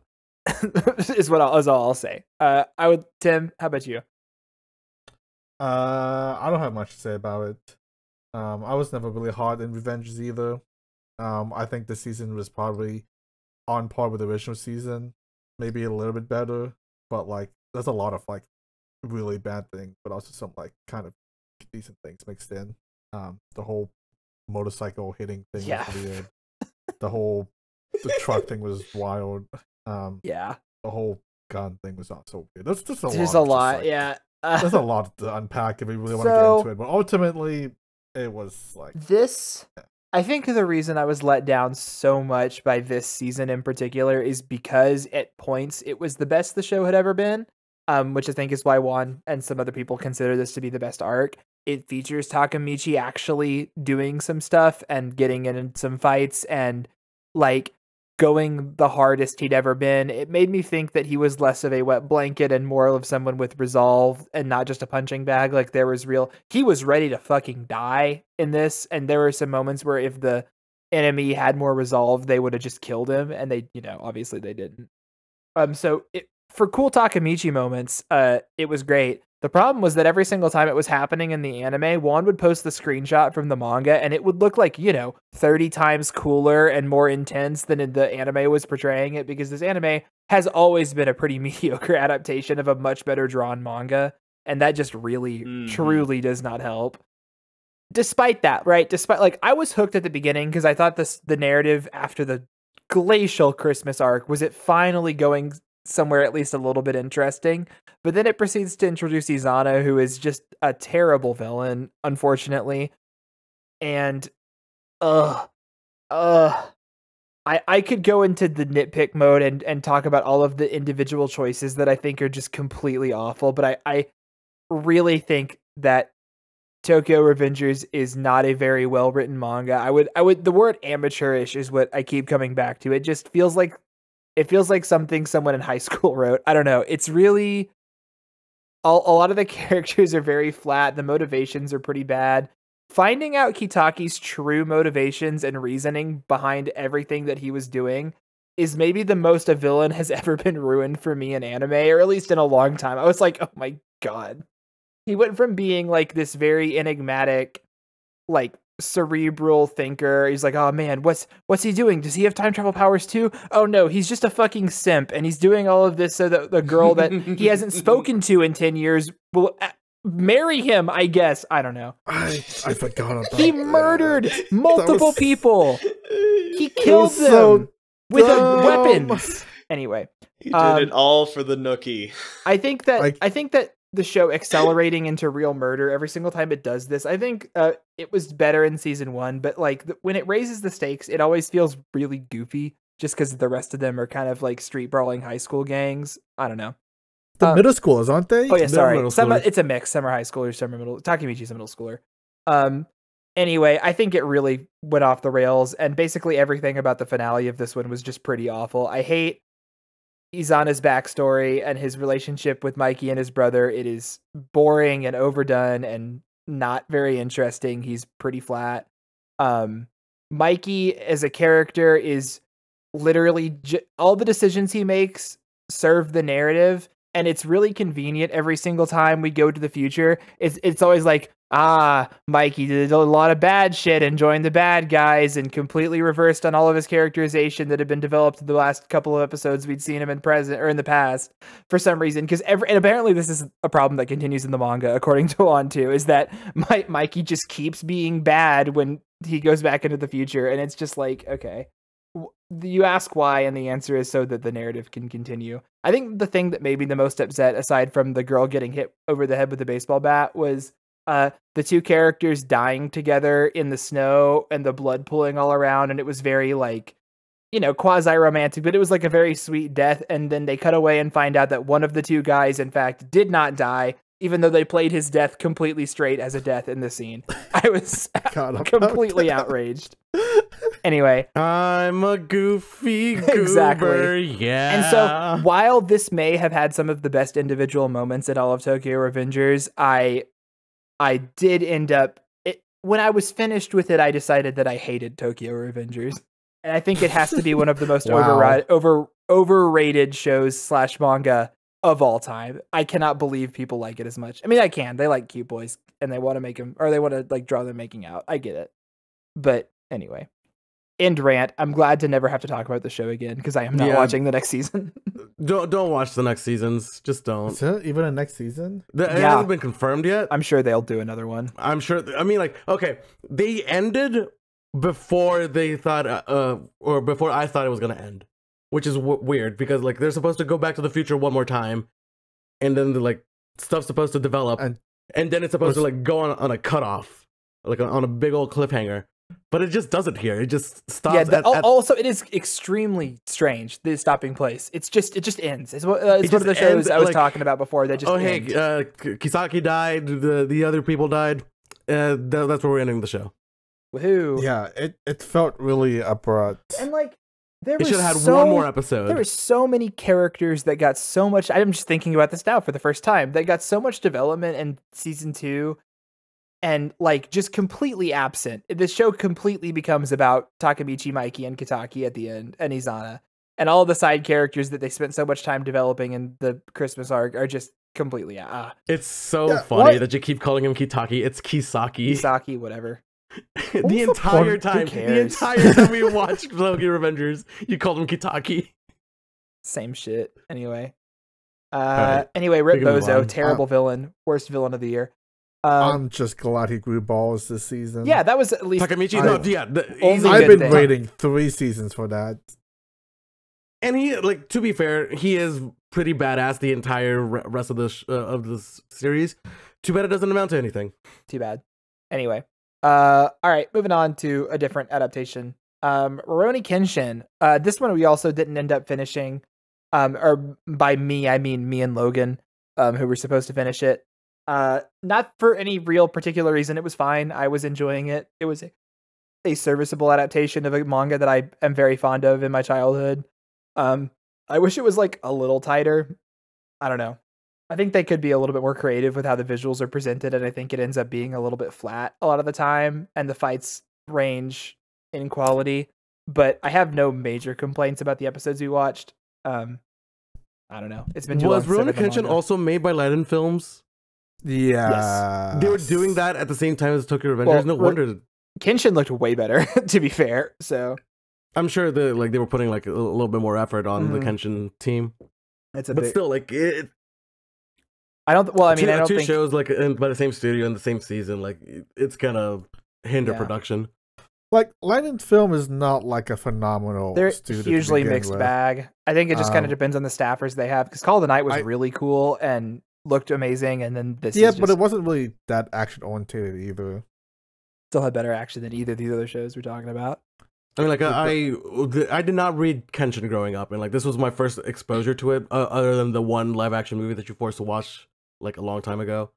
Um, and like I, I was pretty bored by episode six. It, I can kind of understand that because like sh- shonen like nowadays is not the same as shonen like back in the nineties. Like it is a very like kind of slow paced kind of show, and I think it doesn't really age Yeah, they didn't well with the current it. audience. They didn't update it. I was Um, kind of expecting it- them to do more, but they this is a very faithful. incredibly faithful. I think it's even more faithful than the original Yeah. um, adaptation. But like I could see why like on on this like JJK Pilled Brain would be like this is too boring for me. You have to kind of get into the mechanics of the fight, and I think that that is one of the more im- the fun parts about the manga. Um, and I don't know, maybe I would go back now and read the manga, and it wouldn't hit nearly as hard as it did when I was like you know thirteen, and was like, oh, dude, cool. He punched the thing, and then his knuckles extended, and then he he blew the rock into pieces, and that can happen in real life too. anyway, the the I I I will admit getting to come back to Kenshin fight mechanics and them trying to be explained in real world logic is incredibly funny still to this day. Um, I think they could have done a little bit better job at doing that, kind of explaining how each mechanics works. uh, yeah. Anyway, uh, I might finish this in time for season two because I would like to watch the main arc, uh, with what's his name, the bandage Mhm. villain when that Shishio. yeah Shishio when he comes up because that's pretty classic shonen right there.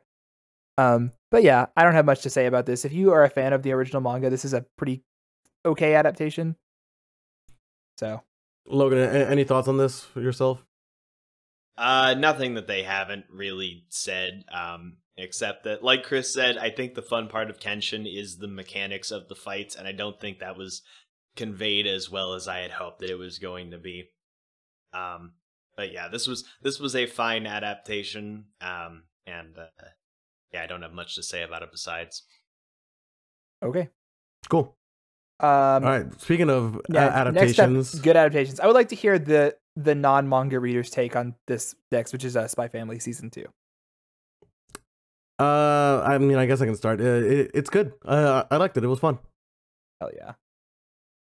Um, I feel like the cruise arc delivered on the promise of the premise of Spy Family better than anything has so far. Uh, and I also really like that very little of this season took place at school. Oh, Logan doesn't like school. That's Yeah. right. Look, I I, think school's fine. graduated from school. It it just it felt like at kind of the end of the that the the last season or the last part or so forth, they were spending a lot of time just purely focused on Anya and the academy, and I Mhm. was getting kind of tired of it. Yeah. But but the cruise arc, like everybody gets a chance to do their like big superpower thing, and they're all teaming up, even though they don't know they're teaming up to stop this terrorist threat on the boat. And it's it was really cool the way it all kind of weaved together. And I think that that, like I said, that delivered on the promise of Spy Family better than basically anything since Lloyd proposing with a grenade pin has. Yeah, like that's absolutely. I think the cruise arc is a really excellent piece of of, of Spy Family, and I happy that we got to see it. I can't Such, believe you know, Logan has not enjoyed Spy Family since episode two. Damn. Spy Family is good, but I I I don't think I've been, you know, in love with it in the way that Chris and that a lot of people have for as much of the runtime as Right. You know, a I lot of will- I mean, like have. the the tennis match was pretty fun. Oh, it's so good. I will I will give you that I think that the adults tend to be better or like bring better narratives than the purely like Anya and the school children focused chapters do, though there are some standout ones here and there. Like I really like this wasn't this season. I like the one about the kid who thinks that he's going away forever. And then that to, was hilarious. so there, there always can be I'm some not saying ones. the school is always Yeah. bad, just that focusing on it too much. I have know? good news, which in that I think that the show or the manga hits a balance a little that I hope, at least from what I can remember, of arcs that are more like the cruise arc after this. So hopefully you will continue to be impressed. I am very excited That's great. about the movie as well because it's going to be original, and I'm interested to see what the Wit Cloverworks uh, team will do with some original stuff. Um, I love this season. I think this is the best season we've had so far. Um, mostly just because it was adapting one of the best arcs in the manga, but it's just been, I I have continuously been overjoyed with this adaptation of one of my favorite manga. It they knock it out of the park every time. It's delightful. Chris, did you watch uh, the best guy ever? Uh, his video on the on I have Spy not. Family. Is No, it good? he- He complains uh, about yours specifically, and like about that arc, and like how he says it's like how it, it doesn't work as, as a narrative. Like, uh, it's it's a weird take. He's wrong, but that's okay. Some people, sometimes people are wrong. I But, think like, that this is the Ever is, best like, he- he- characterization he's- of he's- Yor that we've had so far. It's so Yeah. good. It's like her season in some way. Anyway, Yeah, uh, anyway, Tim, did you have any thoughts on the family? Um, I think I'll. I think I'm going to reiterate my point that I really did not like the pre-cruise stuff this season. I think there's some good Like, episodes, but that's just I think I don't even remember what it have been, like, was. exactly. They, they- I think there was like one or two, like episode it was one. the or two Bond episode where he and back. Lloyd took down that one group. That was at the end. What's Wasn't That it? was after. Was it That after? was post cruise. Oh. Yeah. yeah. I'd have to go back Like, and the look. first half was incredibly like boring, and I was actually kind of losing interest in Spy Family a bit. Um, I think the cruise arc. oh, we had the itself was episode where she gets good. shot. That's such a good fucking chapter. Whatever. That's Oh, first that, that- episode. That, that was the first episode, which was yeah, fun. like I, I mentioned, first episode was really good, but like up, you know, a lot of it was forgettable and weak, and it wasn't until the cruise that it really started kicking off. And I do like the the, the Yor stuff. I think her episode is like the single best characterization episode we've had like of the entire series so far. Um, that being said, I do think I would pref- I think season one is a more well balanced show than Maybe. second season. Maybe. So maybe the best arc, but like not not the best season for me. Still, Still, still fun, still it's enjoyable. good. Yeah, it's one of the best But- adaptations out there. They're killing it. Um, all right. Okay, next up is Helck, another adaptation. Uh, yeah, this was an interesting little show. I think that I would like to read the manga. That is my take I, after I too want want to read the I manga think that I think that it it covered a lot of what ex- exists in the manga, but it did not quite cover the whole story.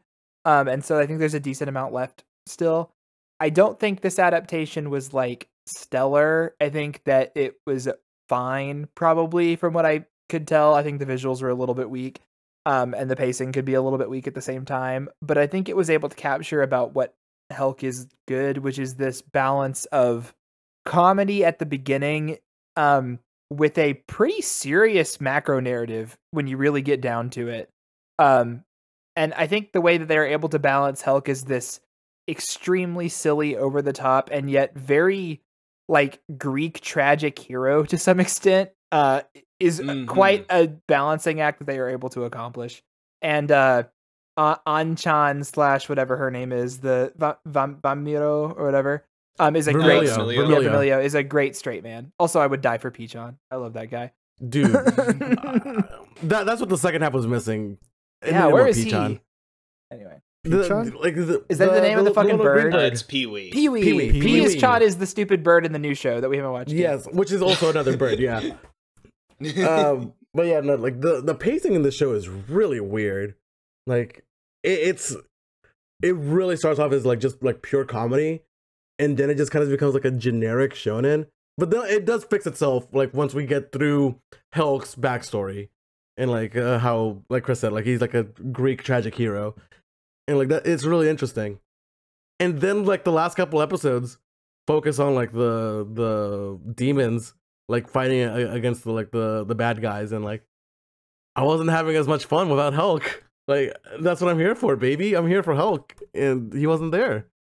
I I want to read the manga just just to see like where the story goes, because like there's got to be like at least like 12 more episodes, maybe even a whole another 24. Mhm. But like Um, it, it was like ramping up towards like so, yeah, some, like, I really thought we were gonna get through the whole narrative, and I was kind of surprised when it just kind of ended on a like, ah, we'll get you next time situation. yeah. Hmm I think there's a whole like two cours worth of stuff left Then yeah, if they were gonna cover it. I I think I more or less agree with everything you guys all said. I think the pacing is really wacky. Um, I do really like all the characters. I I think and and Pee Wee and Hulk makes a great main cast. That really kind of like they're kind of what like made me stick with the show. Otherwise, it kind of dragged on and got a little bit boring a bit for me personally. Um, I think they spent an ungodly amount of time on the flashback. I thought it was They did. That was episodes. so long. long. and that was like the entire. It felt like half, twelve episodes or something. I, I But think it was like five or six episodes Yeah, of it flashback. was a lot. It- It felt a lot, and it just I felt, felt so bad for like Hulk in the flashback. So just all the humans are just so unnecessarily evil. It wasn't No all of That's- them. It was a- mainly the, it was the the group that is It's all of it. them except for a single digit number of people. Like Yeah, they- it's all the every, ti- nobles, every time there's like, like a crowd shot, there there's all all those people are being assholes too. Mhm. So yeah, it's that, that was that was maybe the one thing that I didn't like about this uh, is that I thought that that was a little excessive. But even you know, if I kind of see it in more of a like mythical, you know, folklorish sense, like it is a Greek tragedy, then yeah, you know, the entire chorus acting like an asshole that makes sense. Um, I will say that this like this the adaptation didn't wasn't like good. I'm not gonna say that it's good, but I don't think it brought down the material all that much for me. Like this is just when I hear that there is an anime adaptation of a manga coming out, this is kind of what I expect it to look like. Yeah. And I'm happy if it looks better than mm. this, but it's like you know, they like anime anime adaptations it's often said are just advertisements for the manga and this is usually the quality of stuff that you get Yeah. when you you know I would we, still we get lost in the spy families and the jujutsu kaisens but this is this is what an anime adaptation looks like I would still prefer. I would say if you want to compare this to Doctor Stone, I take Doctor Stone every day. I think Doctor Stone is more like Oh, Doctor Stone looks so much better. yeah. I would say is the level of quality uh, as a minimum I would like at least. I know Me that that's too. not how it is realistically, but oh well. I I didn't mind the quality as much with Help. Like I think was it, would fine. be okay. Yeah, it looked okay. I think I honestly just think it's like the, the pacing of the Mhm. show. Honestly, uh, where it They could have sped parts of it up. from yeah from a comedy to a serious show to flashback and then back to serious. It's just like yeah. I would I- still recommend it if you like kind of goofy takes on a fantasy genre. I think it does that Mm-hmm. setting in a better, more unique way than it's been done a lot recently. Um, and I think that the Mhm. characters are pretty fun too. So I I would still give it the, that the you- recommend.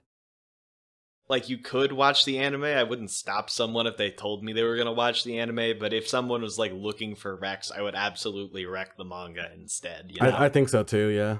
Okay, Uh, speaking of, it's so fun that we can talk. We've been talking about shows with uh, pacing issues because I think Pluto might have some of the best pacing of anything I've ever watched in my life.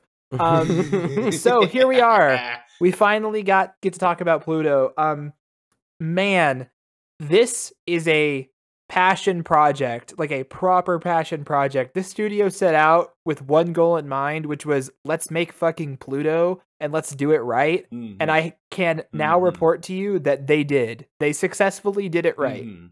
What a fucking piece of media. God damn.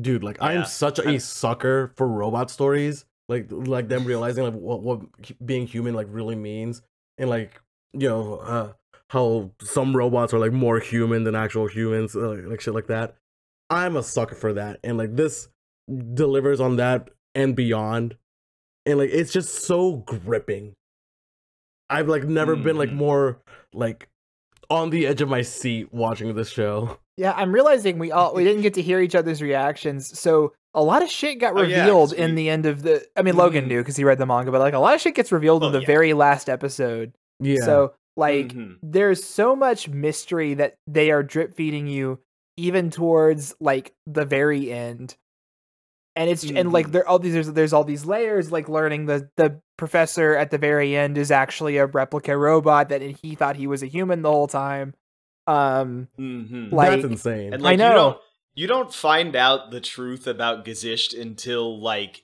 after he's yeah dead he's dead he dies and then you find out about his the memory that got wiped. It's crazy. Mm-hmm. Also Yeah, the the But I do think I think it's really compelling though the way that the story gets told. Like I, Mhm. I it, it it holds you up until that very end because they're just holding back little bits and pieces of, of the narrative that don't quite add up to you. I, I yeah I think that this is a really immaculately told thriller, and I am just I am a complete sucker for any like potboiler thriller that also has some heart to it. Mhm. And uh, I I really loved this. I'm glad that this got a very handsome adaptation because it was. I really love the manga, and I really like this. So yeah Dude, I, I really want to read more stuff of the of the author. Uh, I, yeah, I Naoki need to watch. Urasawa. Mon- I need to I read read Monster. I know. That's that was my first takeaway from this. Is like, damn, I should read Monster. Probably. I want to read 20th Century Boys. that too. Yeah, I I would do Century Boys. Oh man, how do you like it, Tim? Since you probably finished it way before we did. God, it's been a hot second since I thought about Pluto. Yeah. Further Um, context for the show: all three of us that are not Tim finished this show within the past 24 hours. I finished it within the past couple of hours. I think Juan did too. yeah, no, I did. I, I did like an hour before the podcast. I really like Pluto. Um, I'm not gonna say it's perfect. Uh, there was things I had problems with it. Um, by far, like the best things were always the stuff around Gesicht, whether or not he was like alive or not. Um, I think the show feels a little bit awkward as it like tries to pivot back to Adam and try to like orient itself back with the like the main original story that was based off of. I think it got a little bit weaker. Um, I think it was drip feeding us a lot of information, but there's still a lot left unanswered and a lot Which I think was very intentional, and I think think that was was cool. necessary. No, I don't agree. I think it's cool to have some mysteries that you don't the- really know about. The first thing I have to ask, I asked Logan about something about the manga was like why the teddy bear. Yeah, that's was also there. me and Mark were like, we were talking about What- that the whole time in the finale. We were like, "Are we gonna find out what the fuck is going on with the teddy bear?" But I love the way that that ended with the other killer robot Mhm. coming in and like kill it. Oh, that was so hard. I was like, "Full, let's go!" Because honestly, low key, I love the murder robot. He's one of my favorite characters. I, I, I love the robot, Dude. I just don't necessarily see the point of the U.S. president and the teddy bear robot being president. I think it just- because I think it, it's commentary on the U.S. leadership being all about maintaining power at the s- cost of humanity and shit like Yeah. that. You know, I- I- it's not very subtle with its themes, and it continued to not be subtle with its Mhm. themes throughout in the back half. And I was like, ah, yes, Man, uh, the country, uh, America being called Thracia in this, like my Fire Emblem loving heart. I'm like, oh shit, 776. But like, dude, uh, so I- I'm I'm the dub advocate of the group, and I can firmly say that this It was is a a dub. phenomenal dub. Yeah. that's good to know. I'm so glad. Like uh, the the killer robot, he's voiced by Prosy D, uh, uh, Pluto? someone show. Or no, Yeah. the killer, the killer one, The- the, the- the the murderer. killer The robot. killer. That's The killer robot. dude. He's Dude, he's picking he- up the roles, he is dude. phenomenal at that role. Like when you said like he uh, when he was like talking to the, the teddy bear, Mhm. fucking cold. He is so good. Oh I might have to go watch that Oh, it scene. was- Actually, that's kind of sick.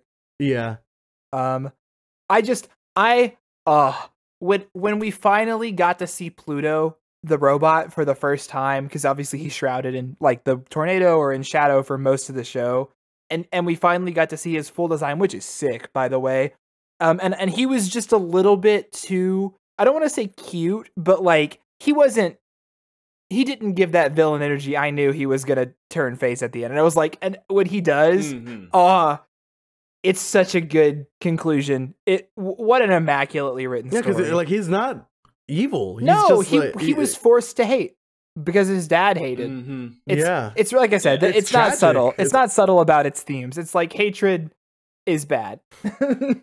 you know, Oh shit! It's it's kind of like the same theme as uh as Attack on Titan in a way. You know, yeah, like except whole- that Attack on Titan fumbles it. Um, I think that that's not entirely true. I think I think that that theme manages to come through pretty well. Is like I think Attack on Titan is more about the cycles of violence, and that yeah, this is a little bit more directly about countries like states acting Conflict, against yeah, each yeah. other and and what we see pe- like people obviously robots are seen as lesser the people of persia slash the people of iraq were seen as like collateral damage that are worthwhile for this cause you know it's it's you could get into the politics of it um, yeah. it's clearly commenting on some major uh, history that was happening around the time it was coming out in the early 2000s. So, um, just just a fucking phenomenal political thriller, a great story about robots and humanity. Um, Adam himself is the coolest uh, rendition I think we've seen him. At least I don't know. Well, I mean, because like we're just used to Well, Astro Boy, you know, know like, with the kinda- silly blue suit, but yeah. Yeah, Um, love the whole cast. Love everybody. I- dude, love Gesicht. He's so he's such a great character. I love I love um what's his name? I'm Epsilon. I was so sad when he died. I knew he was Oh, probably gonna die. but- Yeah, Oh well. Anyway, Mhm. uh everyone should watch Pluto. Definitely Pluto hard good. anime of the year contender, one of the best shows. Uh I think it deserves its masterpiece status as a manga, and I think the anime can safely go down in the same regard now as well, which is exciting. Yeah. Mhm. Um. Okay. Uh, Next up, no another Malin- no Netflix. MAL entry for this one. Fucking Yeah, uh, dude. Like I didn't have my notes ready for it uh, when I did the the thing, so I had to look it up last second. But yeah, it's it's Here's another the Netflix Wikipedia page, exclusive. I guess, for the visual. Uh, anyway, uh, so we are, and if you're if you're about to get your pitchforks out, fucking sit down, bitch. This was made by Science Saru. Okay, this was made in Japan. This is fucking anime, baby. It doesn't matter that the voice cast was or the American voice cast came in. Did we watch the American dub? Of course we did, because it's got the fucking every single voice actor from the original role reprising again. Why would we not watch it? Dude, I cannot believe this got made. I when this first got announced, I thought it was just going to be an adaptation of the comic books and I was perfectly excited like for that because I love the comics. They're a Mhm. classic part of my childhood. I I think most of us Mhm. reread it in preparation for watching this, which is a great idea. Um because it definitely hits a lot harder once you're the kind of the age that a lot of the characters are um versus being a child. Um but instead we get this rebuild, like Evangelion style rebuild of Scott Pilgrim that chooses to focus on Ramona and all the evil X's and all the other characters a little bit more than Scott. And man, Mhm. what a what a joy, what a delight. I I loved this. I thought this was excellent. I was just gonna say I really did like that they actually focused on the the evil X's more because like revisiting even the movies obviously just kind of blitz past, especially the back half of X's. Um, but uh, even in the comic books, uh, for as important characters as they are to Ramona's, you know, characterization, they it never felt like they got a lot of focus, especially as the narrative was getting like way more caught up in, you know, Scott's stuff. Um, and uh, also, this is not a narrative thing. This is just this is the absolute funniest that young Neil has ever been. It's true. Everything Dude. that young Neil says in this anime It's is the funniest thing in the world. Yeah. I just woke up one day and uh, I I made the script. I made it. Um, I oh man, I am so glad Lucas Lee got as much screen time as he did. What a fucking performance by Chris Evans. what a United character. States of whatever. Mhm. Uh, Yeah. ten out of ten. since I'm not apparently going to be able to give that an award this year, I have to say that United States of Whatever is such an inspired choice for Lucas Lee's introduction That song. episode was I phenomenal. Dude, haven't you- thought about it in years, but it was perfect. If you didn't say anything, I would have thought that song was made for the show. No, just straight up, because like it, it was like a perfect sequence. It was. They really everything. I Scott Pilgrim has the the comic uh, has an incredible cast of characters, and I think the best part about this anime is just how much time is spent on a lot of these background characters that maybe not didn't get as much time. Like we get a lot more Kim, who is probably my favorite character in the whole show. Mm, we didn't get that much. We didn't get as much, but we got enough. Okay, we got more.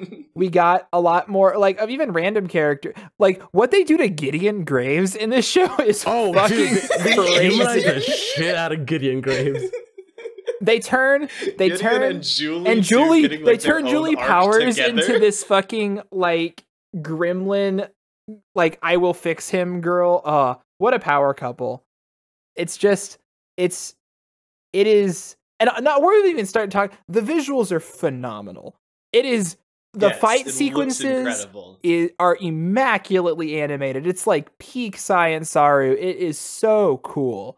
The art style is so original and like like uh, clearly based on the comic and it seeing that in motion is brilliant. I think the one that scene that people are going to talk about, the one that I, I am immediately thinking of is um Ramona and uh Roxy fighting in the movie store that goes through all the Oh, different movies. that- yeah, that just so fucking cool.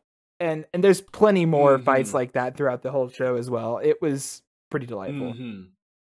I- do want to complain like a little bit about the the, the voice acting in, in the dub because like like I said earlier with Pluto, I, I'm the dub defender of this group, and Mary Elizabeth Winstead, she is not a voice actor. I thought she was It- fine. I don't know. N- no, I her, her I- I think- performance was very stilted in a, a lot of points.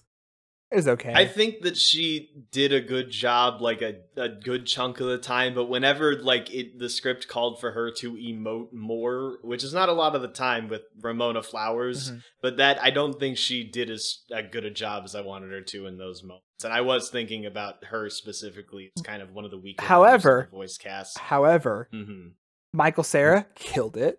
Oh, Michael Cera killed it. Uh, Kieran Yes. Culkin as. Wallace killed it. Yes. Uh, Chris Evans as Lucas Lee, as we've already talked about.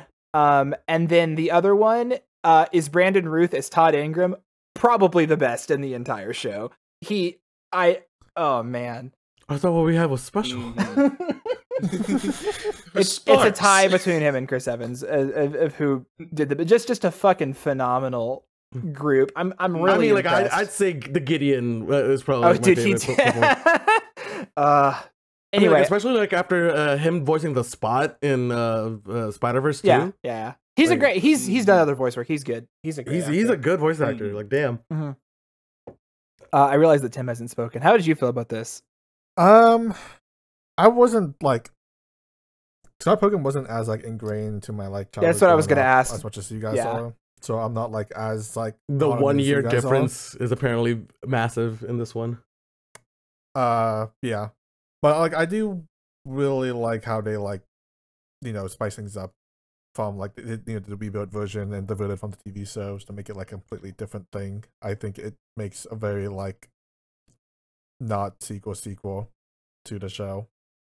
Um, yeah, it was cool. It's just you didn't expect to get that kind of closure in a way that neither the movie or the books really give, and it it was cool. It was just neat. hmm Maybe I do yeah. want a season two because Oh, like it's they, they happening. definitely like they, it's I not don't happening. think Like it's season the, two. the uh, Like I, I think they the whole show was about Ramona, and I think Ramona like wrapped up beautifully in this season. I would obviously be delighted if they made more, just because it means I get to see more Science Saru doing Scott Pilgrim, a sentence that would have blown my dick off in if you had told me in 2016. um, so we never got uh fuck Lisa. We never got Lisa in the anime. Like she she Yeah? only exists in the comics. Oh wait, was she not in it at all? She's not in it at all. Yeah. I guess so. Mhm. Oh well. I think, but So, I think like, her I, I arc. would want a season two. I think uh, her ju- like- arc was pretty fleshed out in the books. Yeah, I mean, yes, she but like, was- I just, I was just want to see her animated. I want to hear her voice. You know, True. There And, were like, some the- there uh, were some comics only characters in the uh, in the show, but they um, they leave it like on a cliffhanger with you know like Gideon and Julie like becoming evil together. So like, I think a season two is it's possible. I agree that it's possible, but I just it's it seems unlikely because it was very It- conclusive, which is it fine. feels redundant. to I me. agree. I, I think I'm happy with where the Mm. I, I think like just to like have Like not not necessarily franchise, but like just you know just just keep hanging with these characters in this world. that Like, would be why I would really like fun. it too. yeah. If they add more, it wouldn't be to like flesh out any more characters or do like Sorry, some new takes. I'm sorry, I'm just I'm on the Wikipedia page. Apparently, fucking Finn Wolfhard, who's the main character from Stranger Things, plays young Scott Pilgrim in the anime. Oh yeah. dude, what a Yeah, yeah, yeah. cast! And then also, and Will Forte is adult Scott Pilgrim too. which Oh is- yeah. Anyway, Yeah, Uh, BoJack I- Horseman. I think I think it's just because it's fucking Edgar Wright, and everyone will say yes to Edgar Wright um, when it comes to working on a project. I'll say yes to Edgar, right? Hell yeah! Uh, what what a show! I can't. I really truly cannot believe it got made, and I I'm still delighted. personally, I really would have liked the comic adaptation too, though. That's the one thing. I, I am a little bummed that we're never gonna get the Science Saru proper comic adaptation, and that maybe maybe that could happen again at some point. I don't know. Uh, no, it just uh, seems so Bryan Lee O'Malley now. is is staunch. Like, no, I, I don't want it adapted. I'm like, dang it, come on. I, I'd It's like okay. to see it animated. I think I'm happy that we got this, and I can call it at that. Yeah. All right. I think we're moving into our final uh, one. You might have thought we forgot about it, but no, we didn't, because that would be bad anime podcasting if we didn't talk about the biggest show of the year. Um, all right, who wants to get us started on this fucking behemoth, this 24 or 23, I guess, episode gigantic moment in anime? As the resident Jujutsu Kaisen dick writer here, uh, season two was everything that I wanted from an adaptation. Like uh, we talked about some like pretty like mediocre adaptations uh, in the season, like Helck and um, uh, Tokyo Avengers. This delivers. Like the the manga for Jujutsu Kaisen like is already like extremely good art wise, and then this just elevates it to another fucking level. God bless those Mappa animators. I I want every single one of those animators' dicks sucked. I Mhm. hope they get like the best sloppy of their goddamn life. They won't. They're busy working on the Chainsaw Man movie. I know, and that's sad. I, I feel so bad for them. But yeah, the, like this season is very much the epitome of like shonen action, animation wise at least. Yeah. Cause like it has some of the best fights I've seen. Period. Cause holy shit, did those the, the fight animation like pop off? I remember like uh, when it was confirmed that uh Sungwoo Park uh, was not coming back for season two. I was like re- really worried hmm because like that's what like really made season one like the the the fighting animation. But like I don't know the name of the new director here, but like he delivers. Like he does a really good job of like doing the fight choreography and also just like the big bombastic uh His name is uh, Shota. The main director is Shota Gosho Gosho Zono. Yeah. Mhm. But I mean, I want to say it's it's a team effort. They have a lot of people working on this. Um, Yes. Mappa's really they know it's their cash cow. Um, so yeah, this guy has mainly done a bunch of key animation for a lot of really good shows. Um, like he worked on Mob, he worked on Fate Grand Order and Osama Ranking and Chainsaw Man as well. So, um, worked his way up to it. Clearly, did a good job on this one. Yeah, if you if you're into shonen, obviously you are probably already watching Jujutsu Kaisen. But if not, the yeah, fucking do it because this is probably It was also The just, best it was also so out there right now. like they covered such a long stretch of stuff you know all the way mm-hmm. from the flashback arc i can't remember the, there's a name for that arc but um Uh, hidden inventory. hidden inventory there we go um and then transitioning to shibuya which is the quite Shibuya a, incident. uh, quite a transition uh logan and tim either of you got thoughts on this bad boy Um, I wish I could see it without the screen dimming. Um, wait for the blu-rays Uh, buy the Blu-rays. buy the Blu-rays, I guess. Um, Yeah. playing Pokemon. Or or Japan could just give more give more children seizures. That's what I I'm saying. Give That's them what I'm seizures. saying. I don't care. Little 50 kids seizure doesn't hurt let, no one. Let let They'll be children fine. have seizures. All right. they don't even flash um, anymore. Like that's the weird part. Like none of them were flashing. hmm But anyway, I I I thought that hidden inventory was incredible. I think that it's like the peak of the JJK anime so far. Uh, maybe more so than Zero, even though Zero, I don't know, Zero was probably that before. Um, and uh, yeah, I'm sad that you know some of it got marred by the screen dimming and so forth. Um, but I think that there is a lot of really strong action in this show, even in the back half. I do think um, that the Shibuya incident just kind of started to drag at a certain point. Um, it, it, I get that it's supposed to be this big monumental event in the manga, but especially when you kind of put it through the ringer of anime pacing, um, it, it felt like it was just kind of going on and on. Uh, like especially towards the end when like you know a lot of bleak stuff starts happening, and I'm sure Chris is going to come in to complain about that here soon. Don't spoil the Um, fun. but I my my problem with that wasn't necessarily that like bleak stuff was happening or even that too much bleak stuff was happening, but that just too much stuff was happening and I was kind of ready for this bit to be over. Yeah, it's so a we can little. move on to the next thing. it's a little uh I don't know if oversaturated is the right word. It's like a a little sensory overload. If you watch so many Mhm. high octane fights back to back to back to back with like zero break, it's a lot of emotional Mhm. intensity and no downtime. Um, Mhm. Tim, Yeah. how about you? Oh boy, I have a lot to. Go. Okay, well, hold about. on. If you're So if you're gonna be a maybe we should hater, come back. if you're gonna be a hater, then maybe I'll I'll key- segue into hating first, and then we can talk about it. Okay, okay. I'm look. I'm turning my chair backwards. I'm sitting down in it. I'm addressing you. I I'm saying sport. I love you, JJK. I'm saying this because I love you. Um, I, I, I have to do this, and I hate having to do this. This was a great season. I gave it an eight. I think specifically hidden inventory, like Logan said, is the best JJK has ever been. I, I, I found it to be deeply moving.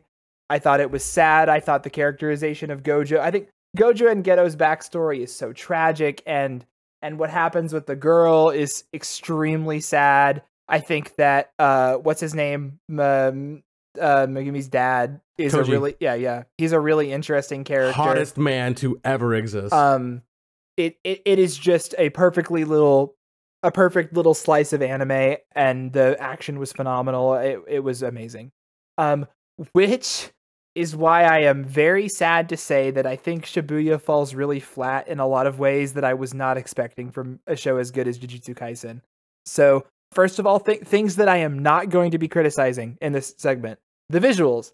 I think that a lot of the fights, especially the um the Sukuna and uh whatever Mahoraga and Jogo. and Jogo fight, and then the one after, uh, yeah, you know the Mahoraga. Mahoraga are some of the best fights ever put into anime uh, visually.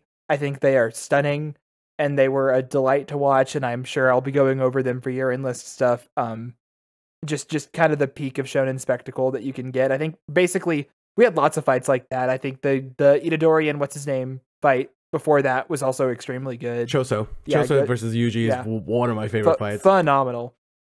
Um, I think, and, th- and this is where my core complaint is going to really kick in. Jujutsu Kaisen to me always differed itself from a lot of the other shonens that have been coming out, but both classic ones like you know Naruto, Bleach, etc., and more recent ones like Demon Slayer, Chainsaw Man, even to some extent. Um, maybe not Chainsaw Man. I'm not going to bring that up, but like recent ones, it- it has always been about character writing. I think its character writing has always been something that I personally have loved about it. It has this big cast of characters and it makes you love a lot of the characters very quickly. Um, I think that Itadori is an incredible main character. I think I like his approach to how he lives his life. His like philosophy moving forward is really interesting. Um, and then he's just surrounded by this excellent cast of characters that we've spent a lot of time developing. Um, and especially after that break with hidden inventory and with zero from the main cast, it really is a little bit lame to immediately go in and basically not get very much screen time or development for most of the characters because it's just all fights and it's fights for the whole way through. And the only character that's really getting developed is Itadori, and the only development he's getting is trauma. And it's just it's one thing I don't know, man. You you have Sukuna take over and go on this rampage and kill millions of people. I get it, that was inevitable. Sure, whatever. Like Gojo got stuck, it's bad. It's you know, you have to up the stakes somehow. And then you kill Nanami and you're like, okay, well, that sucks. He was one of my favorite characters and it sucks cuz the way he died is kind of lame, but like, you know, you got to really push in the trauma. And then immediately after, you're going to kill Nobara, a character that has had next to no development since the early parts of the season one, and who has had no screen time in ages, and is a fan favorite character too. Just completely unceremonious. You get this like half-assed ex- like backstory exposition character, and I, I'm I'm I'm still mad. I'm sorry. I'm still mad about this death. I think it's completely unnecessary. I don't think it does anything to develop the story. Um, I think she was a great character that got truncated for like no reason. I think there was plenty more of her story to tell. She had a really interesting approach. Her family had an interesting backstory. I don't know. It's a bunch of shit. I'm still mad about it. Either way, I just I don't think turning your anime into a octagon fight festival for 20 episodes straight is a good way to write a show. I don't I think you really miss out on a lot of care the what what has made JJK good and again, this is why I say this out of love because I really do love this show. And when um, I'm gonna, I am so bad at names. Uh, is it Toad Todo, the big guy? Todo, uh, Aoi Todo, yeah. When he showed back up, it was like a fucking breath of fresh air. I was like, oh my god, we finally have some fucking like two characters that I enjoy watching interact or getting to interact again. And that was like the first time that had happened since Hidden Inventory. And I was like, bro, thank God. Finally, some good good eating here. Um, I'm hardly saying that JJK is bad. I'm not saying that it is like, oh, it's fall, it fell off or whatever. But I did have to rate this season a little bit lower, despite which feels so fucked up for me to do because of how good the rest of it was, like how good execution wise the visuals were. Is just the the character writing and the narrative has just been a little bit weaker in a way that I do not think is how it's been before which sucks because again, if you split hidden inventory into its own OVA, I'd probably give it a fucking ten. And I have, and so I, I do think hidden inventory should have been the movie, not not JJK Zero. I think Zero is fine as a movie. You could have made them both movies, but yeah, if if hidden inventory is a movie, I think I give it a ten. It's literally the best the show's ever been. And so I I was not the hmm. biggest fan of Shibuya aside from the spectacle. JJK Zero probably should have been season two because there's a brand new character we didn't know anything about. It feels weird to make him a standalone. So I think hidden inventory probably should have been the movie. But yeah. Um I kind of basically agree everything Chris said just now. Um this may not be like the nicest comparison to JJK, but like the Shibuya arc specifically feels a lot like um the Demon Slayer Entertainment arc. Where like the main enjoyment, actually the only really enjoyment I got out of both of the seasons was like the entire show was just like one giant long ass fight in the uh, Demon Slayer season. And this one's also kind of the same thing where like the Shibuya arc, the things I really liked about, all the things I liked about was just like the really well animated, cool, over top fight scenes. And while in like Demon Slayer, there was like basically non existent writing, so it didn't bother as much. In the JJK, it like the writing actively made me like dislike the show more. Like Chris was talking about, like, oh, you know, all the main, these are all fan favorite characters dying, which I think is like a really lame way to kind of like invoke trauma or like raise the stake of a show, especially because I feel like like that Nobara especially like had a lot more to give to the show. Um, I think I mentioned this before to the, the other guys, but I think adding like a flashback arc right before someone dies is incredibly lazy and bad writing. It's kind of basically the author's equivalent of like, oh, oh shit, I didn't develop this character enough, so I'm squeezing something last minute to make you feel something for these characters. Um, so I do am not a fan of the Sh- Shibuya writing, but I I will agree that the the fight scenes were like ten out of ten, some of the best fights this year, and the hidden inventory was like flawless. So like I don't have much to say about that. Do you guys think if there was like another arc before Shibuya incident that you would like it a little bit more? Like that, that would like develop. The I think if? Shibuya What- was the closer towards the end of the show and we had gotten maybe another full season of development for especially Nobara, maybe I could have justified it more. I think Tim was really spitting when he was talking about giving characters flashbacks before they died. I think it was like I said, I I think Nobara's death is kind of pathetic. It's I just think it's the worst part of the show by far. As a manga reader, yes, yes, it is. It will. Nobara dying this early makes no sense. most of the writing did not help the show, in my opinion. Like none of the character interaction in Shibuya was like engaging or like expanded my enjoyment. So even if there was like another season beforehand, I think another season beforehand would have made I don't know. the deaths more like I think accepted, but like I still think I- there was no too little writing in Shibuya. no, it really was just a series of events happening. I just I don't think most of the villains are whatever in Shibuya. I'm just going to be honest. Sukuna is uh, with the exception of Sukuna who has had a lot of development outside of this arc. I just I don't think that Mahito has ever been the most compelling of villains. I do think his death sequence and the way his arc ended was very good. I think that was a very good episode.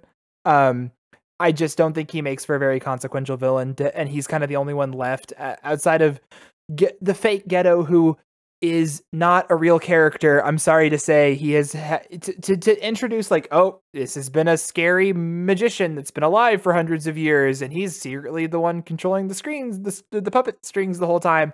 It's it's kind of a last minute like development. It just means it's not bad, but it means that we basically have no familiarity. It's like a new villain just being dropped in at the very end, and you're just kind of like, okay, well, I'm not invested with this guy at all anymore. Right. I mean, not like, th- this is this is his introduction, really, and like, And he's, like, the that's big what the bad rest of the manga is is what it's about. It just means Like- that there isn't, uh, there aren't as many narrative stakes in the Shibuya incident when it all boils down, except for the destruction and and how bad it was. And I mean, like that's something that you can do, but it just does. It feels. It ends up feeling a little cheap at the end of the day. You know what I mean? Mm-hmm. I don't know. I forgot we didn't mention this during the podcast, but like I do have a lot of gripes with Mahito as a character. I've because, also like, never it- liked him. Yeah.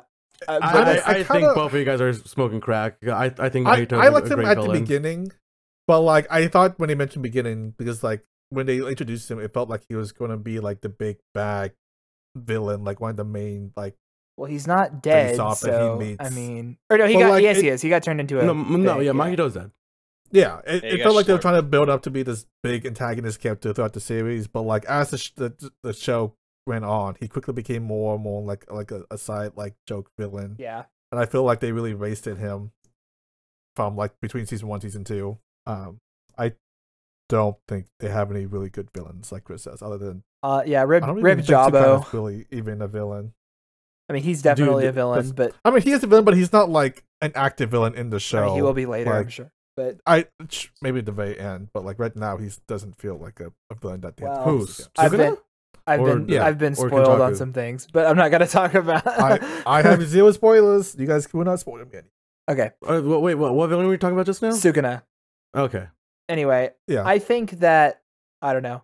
he's relevant throughout the entire series. We'll see. he's relevant. He doesn't feel like the antagonist, like the villain that they're constantly fighting fighting against. So like, I'm sure he will eventually, whenever he like. I mean, that's what the next arc is all about, baby.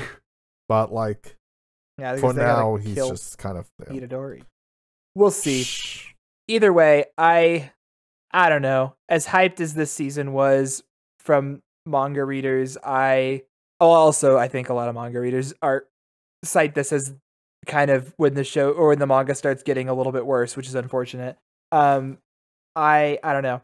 Mixed mixed feelings for me. I still think it's good. It's not a bad show. I would obviously recommend it to everybody, but I am I am disappointed that a show that I loved so much went in the direction that it did, and I'll keep it at that. Um, a little bit bummed about how about how this one ended up. Not not for me, baby. I'm I'm still dick riding now, all all the way uh, downtown.